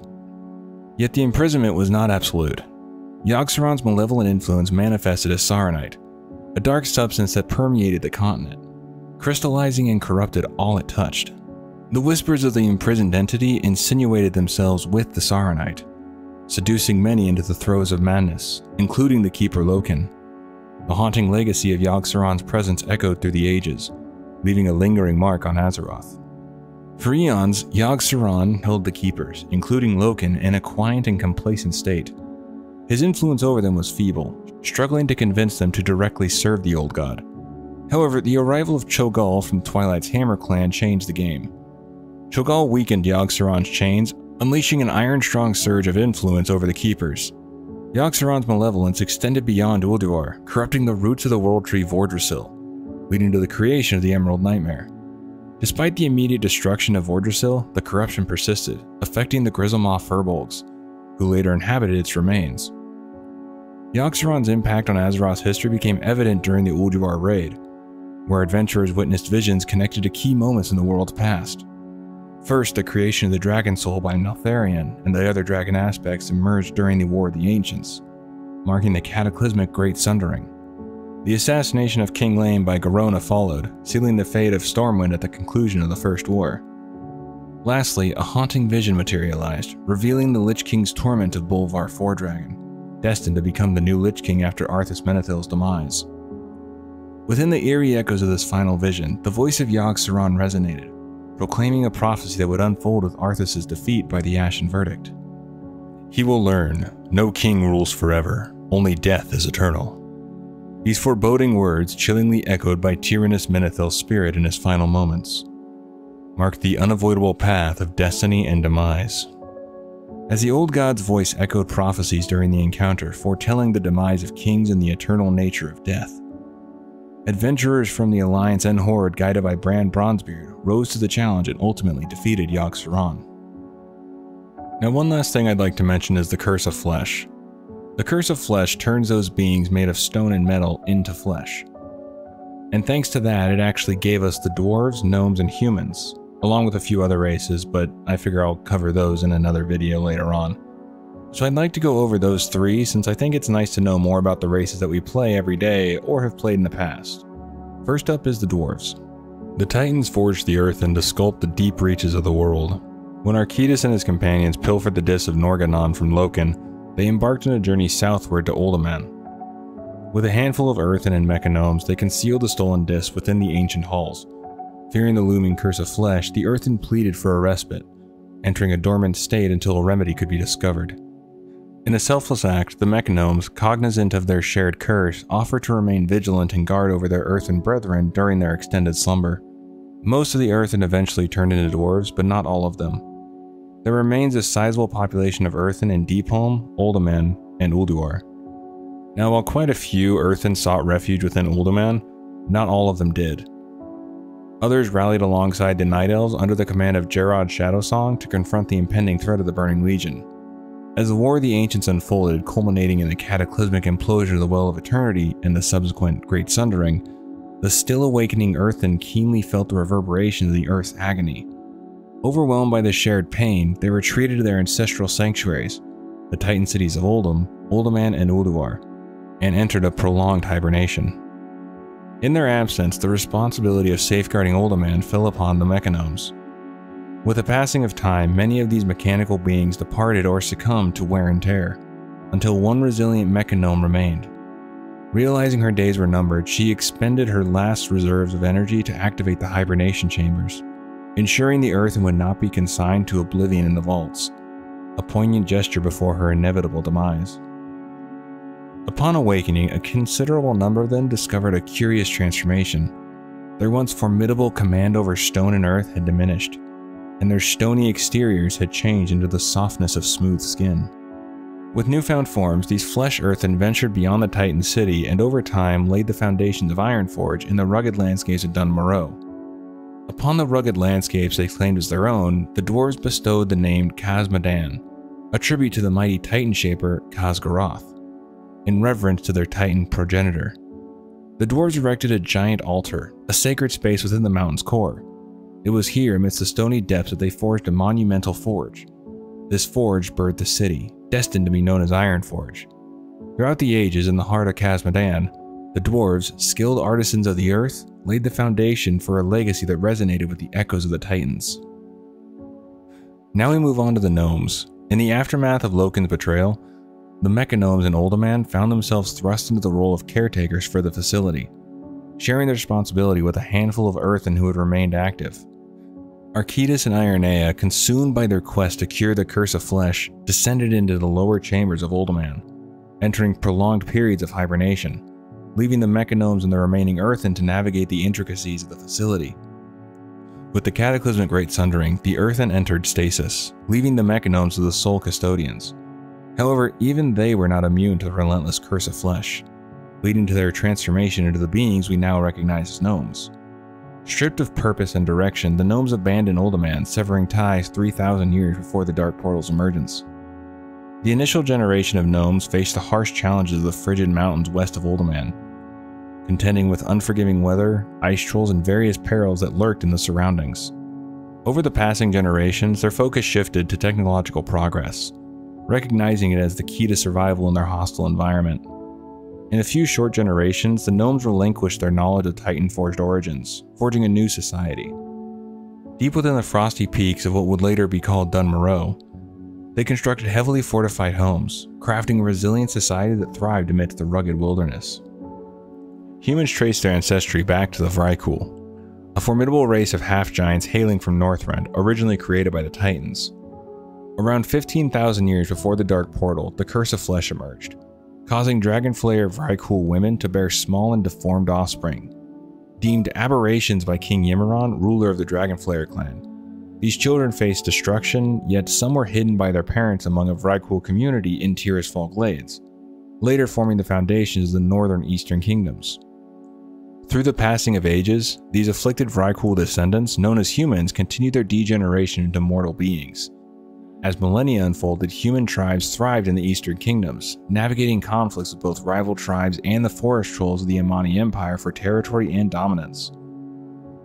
The truth of their Vrykul heritage remained shrouded and forgotten by humanity until the fateful encounters with Vrykul in Northrend during the war against the Lich King. Imagine a vast region, comparable in size to Grizzly Hills, but entirely consumed by one colossal city. It's a sprawling expanse of plazas, ziggurats, towering walls, and aqueducts that seem to stretch endlessly. Throughout the city, massive altars stand prominently, starting from the second tier of Zul'Drak and reaching upward. These altars were once sacred places where the Drakkari fervently worshipped the wild gods, or as the trolls called them, Loa. Magni Bronzebeard attests that the entire place is saturated with a dark energy and an aura of death not stemming from the scourge, but rather from the profound suffering of these gods, casting a haunting stain upon the land. Drakkari ice trolls rule the land from their capital, Gundrak. While it lacks the magnificence of storm peaks or the warmth of grizzly hills, this troll-dominated zone draws few visitors, except for bold explorers seeking encounters with the Drakkari. The Argent Dawn returns to play a crucial role, alongside the Zandalar tribe aiming to preserve the Drakkari history. Zul'Drak itself is a monument to a shattered civilization, as players venture into the zone, they witness the encroaching scourge, especially around the besieged Argent Stand. Amidst the chaos, conflicts erupt between diverse factions, with crazed Drakkari, Nerubians, and water elementals summoned by the desperate trolls. The weakened forms of the Drakkari's Loa linger in the northeast, near Gundrak, while a scourge-controlled blight zone casts its shadows south of Ebon Watch, near Drak'Tharon Keep.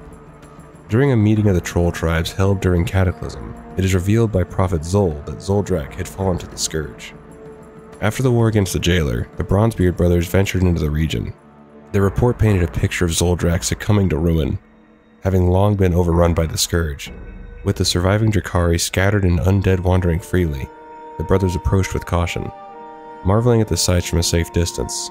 Unsurprisingly, the remnants revealed numerous Drakkari artifacts waiting to be discovered. Additionally, the brothers noted the undead ice trolls pouring from Drak'Tharon Keep had a singular focus to utterly destroy Zul'Drak. Long ago, Drak'Tharon Keep stood as a stalwart fortress on the fringes of the Drakkari trolls' realm Zul'Drak.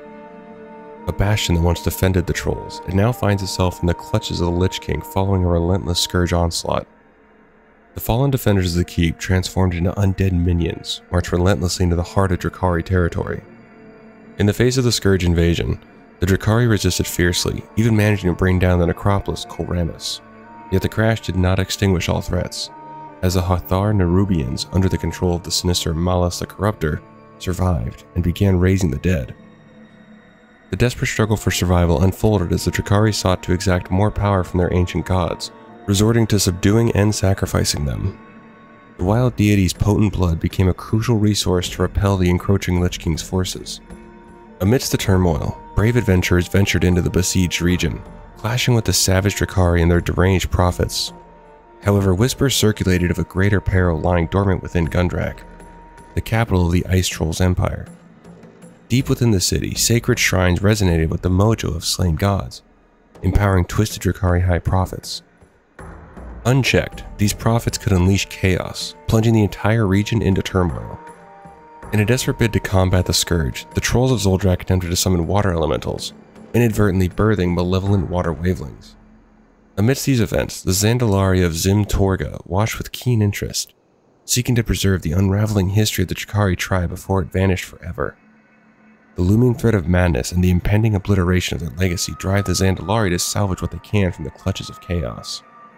Within Zul'Drak, they have various shrines to different Loas, and I feel they each deserve to be talked about due to how important the Loa are to troll culture, and it being a big part of the zone.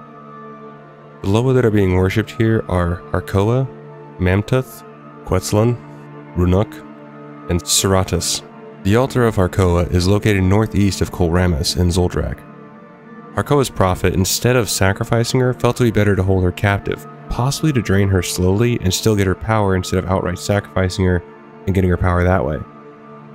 They don't really say specifically that I could find, but that's my guess. When the Drakkari turned against their gods, Har'koa stood as the last one to be subdued. The troll swiftly harnessed her power to curse her own children. Witch Doctor Khufu managed to reach out to other gods, prompting adventurers to come to Har'koa's aid. Once her children were freed, Har'koa directed the adventurers to assist other Loa like Rhunok, Quetz'lun, and Akali. However, she couldn't help some, like Mam'toth, which saddened her deeply. In a twist, Akali met his end at the hands of his prophet. Har'koa and Witch Doctor Khufu teamed up to ensure the prophet's demise. Personally joining the fight, she guided adventurers to make sure the prophet was defeated. After this, she sent them to meet Tolmar, who instructed them to dismantle the Gundrak leadership. She also has a mate named Loque'nahak, who can be found in Sholazar Basin. Once, the altar of Mam'toth stood proud, a temple nestled southeast of Zul'Maz's stronghold. Its purpose? To sacrifice the Mammoth god. However, when Mam'toth discovered the sinister plot of his worshippers to sacrifice him and seize his power, he took matters into his own hands, metaphorically. Mam'toth obliterated himself, his temple, and all those present, birthing the Mam'toth crater in the aftermath. Now all that lingers is a crater teeming with an eerie blue ooze, which is what remained of his blood, a haunting reminder of his sacrificial demise. His children can be found trampling the formal disciples around the crater. After the war against the jailers, the Bronzebeard brothers visited the altar and reported that the crater was still crawling with his blood. However, there is a bright side. While thought to be gone forever, his spirit is recovering in a wild seed in the tranquil pools of Ardenweald. The altar of Quetz'lun stands as a temple devoted to the wind serpent goddess herself. Guarded by formidable wind serpents and air wardens, this place exudes an air of divine protection. When the Drakkari, facing the Scourge invasion, resorted to sacrificing their Loa, Quetz'lun took drastic measures. She conjured a private underworld nightmare just before her physical form succumbed to destruction. In this dark realm, she ensnared her former worshippers and high priests, ensuring they faced the consequences of their betrayal. Surprisingly, her prophet managed to evade this fate. Later, her spirit aided the adventurers in seeking vengeance upon her prophet. Through a ritual, she was summoned into the material realm, enabling her to reclaim her power from the prophet. With her restored strength, she drew him into her underworld domain, perpetually condemning him to eternal and repetitive demise.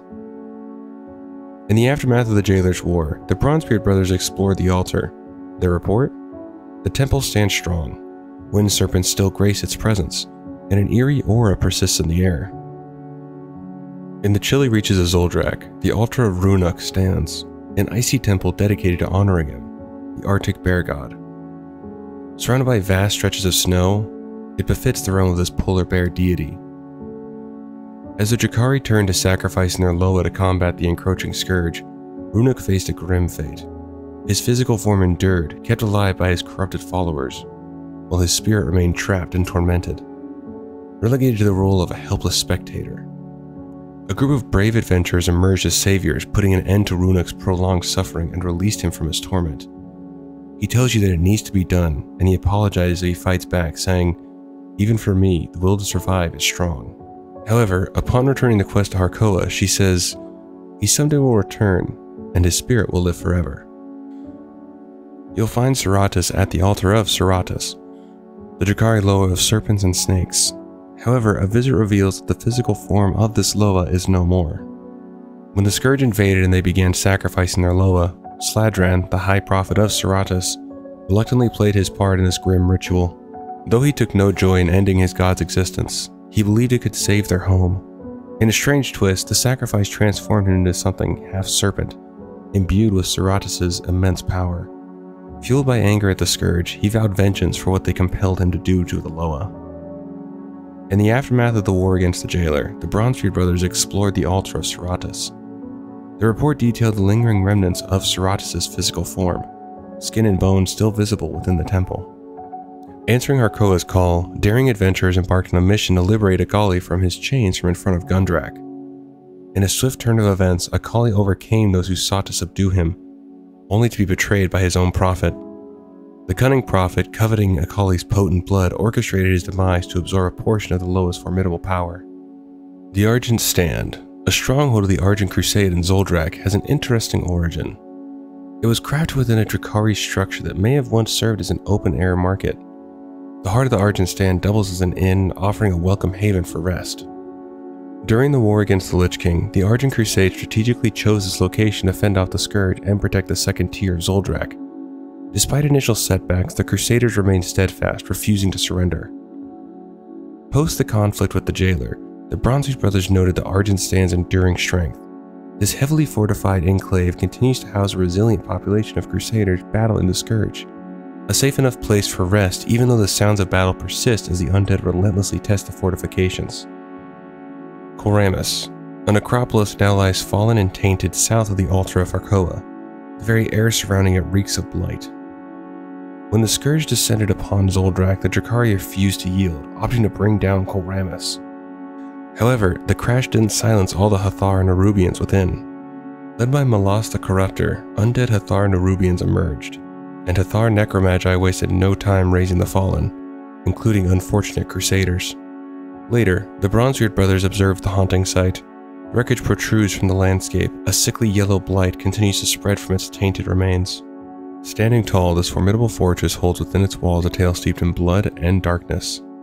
News of adventurers' exploits in the region prompted the Drakkari warlord Zul'Maz to seek refuge within the stronghold, guarding his family in the process. However, Zul'Maz held a key crucial for the liberation of the last surviving Loa, Akali, prompting the Loa Har'koa to dispatch adventurers on a mission. To breach the enchanted defenses and access the stronghold, the adventurers faced a harrowing task eliminate Zul'Maz's entire family before confronting the enraged warlord himself. Following the war against the jailer, the Bronzebeard brothers reported that the grounds remained under vigilant watch, patrolled by warriors adorned with enchanted masks. During the fight against the Lich King, the ancient ice troll stronghold fell into the clutches of the Scourge, all thanks to the betrayal orchestrated by a troll named Drakuru. With the fortress now serving as their sinister base, the Scourge unleashed an invasion upon Zul'Drak, and the undead Drakkari ice trolls spilled forth from Drak'Tharon Keep into the Grizzly Hills, wreaking havoc on the Firbolg. Strangely, the invasion was falsely attributed to the Drakkari, not the Scourge. The once leader of Drak'Tharon Keep, the Prophet Tharon'ja, underwent a grim transformation into a colossal skeletal wind serpent. He directed his minions toward Zul'Drak, aiming to conquer the ancient Ice Troll Empire. It's worth noting that Drak'Tharon Keep was near Mal'Ganis' base during the Third War, where he supposedly met his demise at the hands of Arthas wielding Frostmourne. Years after the war against the Jailer, the Bronzebeard brothers reported that Drak'Tharon Keep still remained under the control of the Scourge. The undead Drakkari's primary objective appeared to be complete destruction of Zul'Drak. Within the keep, you face four bosses that must be conquered. First, you encounter Trollgore. This massive creature realized its legendary fierceness couldn't match the might of the Lich King. Now, it stands as a grim reminder to anyone daring to challenge Arthas' rule. Then you move on to Novos the Summoner, always on the lookout for opportunities, yearning to transcend his ordinary existence. In a daring move, the cultist cut out his own heart, offering the still beating organ to his master just moments before his demise. This bold act left a lasting impression, and his master, in response, transformed him into a lich. You then have the option to face King Dred, a legend among the Drakkari.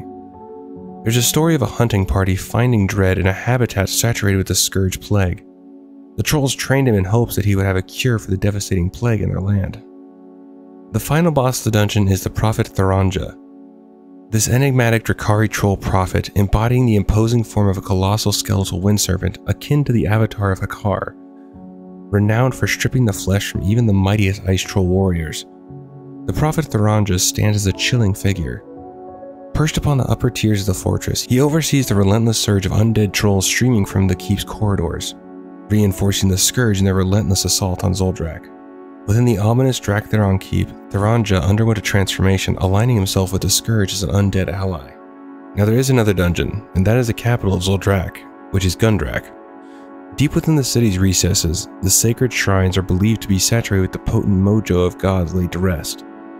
Enveloped in this ominous energy, the corrupted Drakkari High Prophets thrive, steadily amplifying their influence over devoted followers, granting them unparalleled strength. Should this ominous power remain unchecked, the trolls of Gundrak may soon unleash their growing might, throwing the entire region into disarray. The Grand Mosaic Circle, situated before Gundrak's steps, serves as the final sanctuary for the twisted Drakkari prophets and their Loa, the rhino god Akali. Before liberation could be achieved, Akali fell victim to his prophet, who consumed his blood and seized his divine power. For a time, the High Prophets Gal'darah, Moorabi, and Slad'ran held Gundrak, but the reign was ultimately brought to an end by daring adventurers. After the war against the jailer, the Bronzebeard brothers ventured to Gundrak and delivered a somber report. The once thriving capital, the pulsating heart of Zul'Drak, had been reduced to mere ruins. Now the only inhabitants were the echoes of the dead and the haunting presence of the undead. Now within Gundrak, there are four bosses you will always have to kill, but then there's one optional boss you can do on heroic difficulty. The four consistent bosses are Slad'ran, the Drakkari Colossus, Moorabi, and Gal'darah, and then the optional boss is Eck the Ferocious. Now Slad'ran took no pleasure in sacrificing Loa he had served his whole life, but he felt he had no other choice. After sacrificing his Loa Sseratus and feeling the power surge through his body, he swore that the Scourge would suffer for the atrocities the Drakkari trolls were forced to commit. We then have the Drakkari Colossus. The trolls' mastery of mojo and their voodoo magic has been a long-standing tradition. However, they achieved a groundbreaking feat by combining these magical forces to form a golem. The initial triumph paved the way for the birth of countless sentinels, all born from the very first creation, the formidable Colossus. Then you move on to Moorabi. Once a high prophet of Mam'toth, the Drakkari mammoth god, Moorabi is a Drakkari ice troll with a shadowed past. In a desperate move to combat the relentless scourge threat encroaching upon Drakkari lands, the tribe sacrificed Mam'toth along with their other animal gods. The grim ritual resulted in the death of the god, transferring Mam'toth's immense power directly into the high prophet Moorabi. So while Mam'toth did sacrifice himself and to ensure that his power wouldn't be used by the trolls, the problem was that with his blood being left behind, the prophet was able to actually take the blood and get his power anyways. So that's how he was able to actually get Mam'toth's strength and power without performing the big ritual. Or they had to perform a ritual with the blood, but either way, Mam'toth didn't have to be around for them to actually perform the ritual, they just needed his blood. But Mam'toth did take a lot of them with him. But now let's move on to the final boss, Meet Gal'darah. In the face of the Scourge invasion in Zul'Drak, the Drakkari sought the aid of their Loa. However, their approach was far from the typical plea. Instead, they arrived armed with blades. With Akali, their god, falling victim to this brutal betrayal. The High Prophet Galdara and his conspirators seized the Loa's strength, drawing power from the bloodshed. Now we have the extra boss you can do if you're on heroic difficulty, Eck. The Drakkari, after a series of unsuccessful attempts to weaponize their Gorlock experiment, decided to lock them away. While the Frost Trolls engaged in fierce combat against the invading Scourge, Eck and his minions patiently bided their time, anticipating the eventual release from their confinement. And that's going to do it for this one. Hopefully you did enjoy. Zul'Drak was a lot darker than I remember. Although to be honest, I don't really remember much of the older lore, so doing all this is quite fun for me to learn all of this. But I'm quite enjoying going back and finding out all this new information that isn't really new, but is new to me. So hopefully you enjoyed. I'll see you in the next one. Do take care of yourself. Thanks for watching.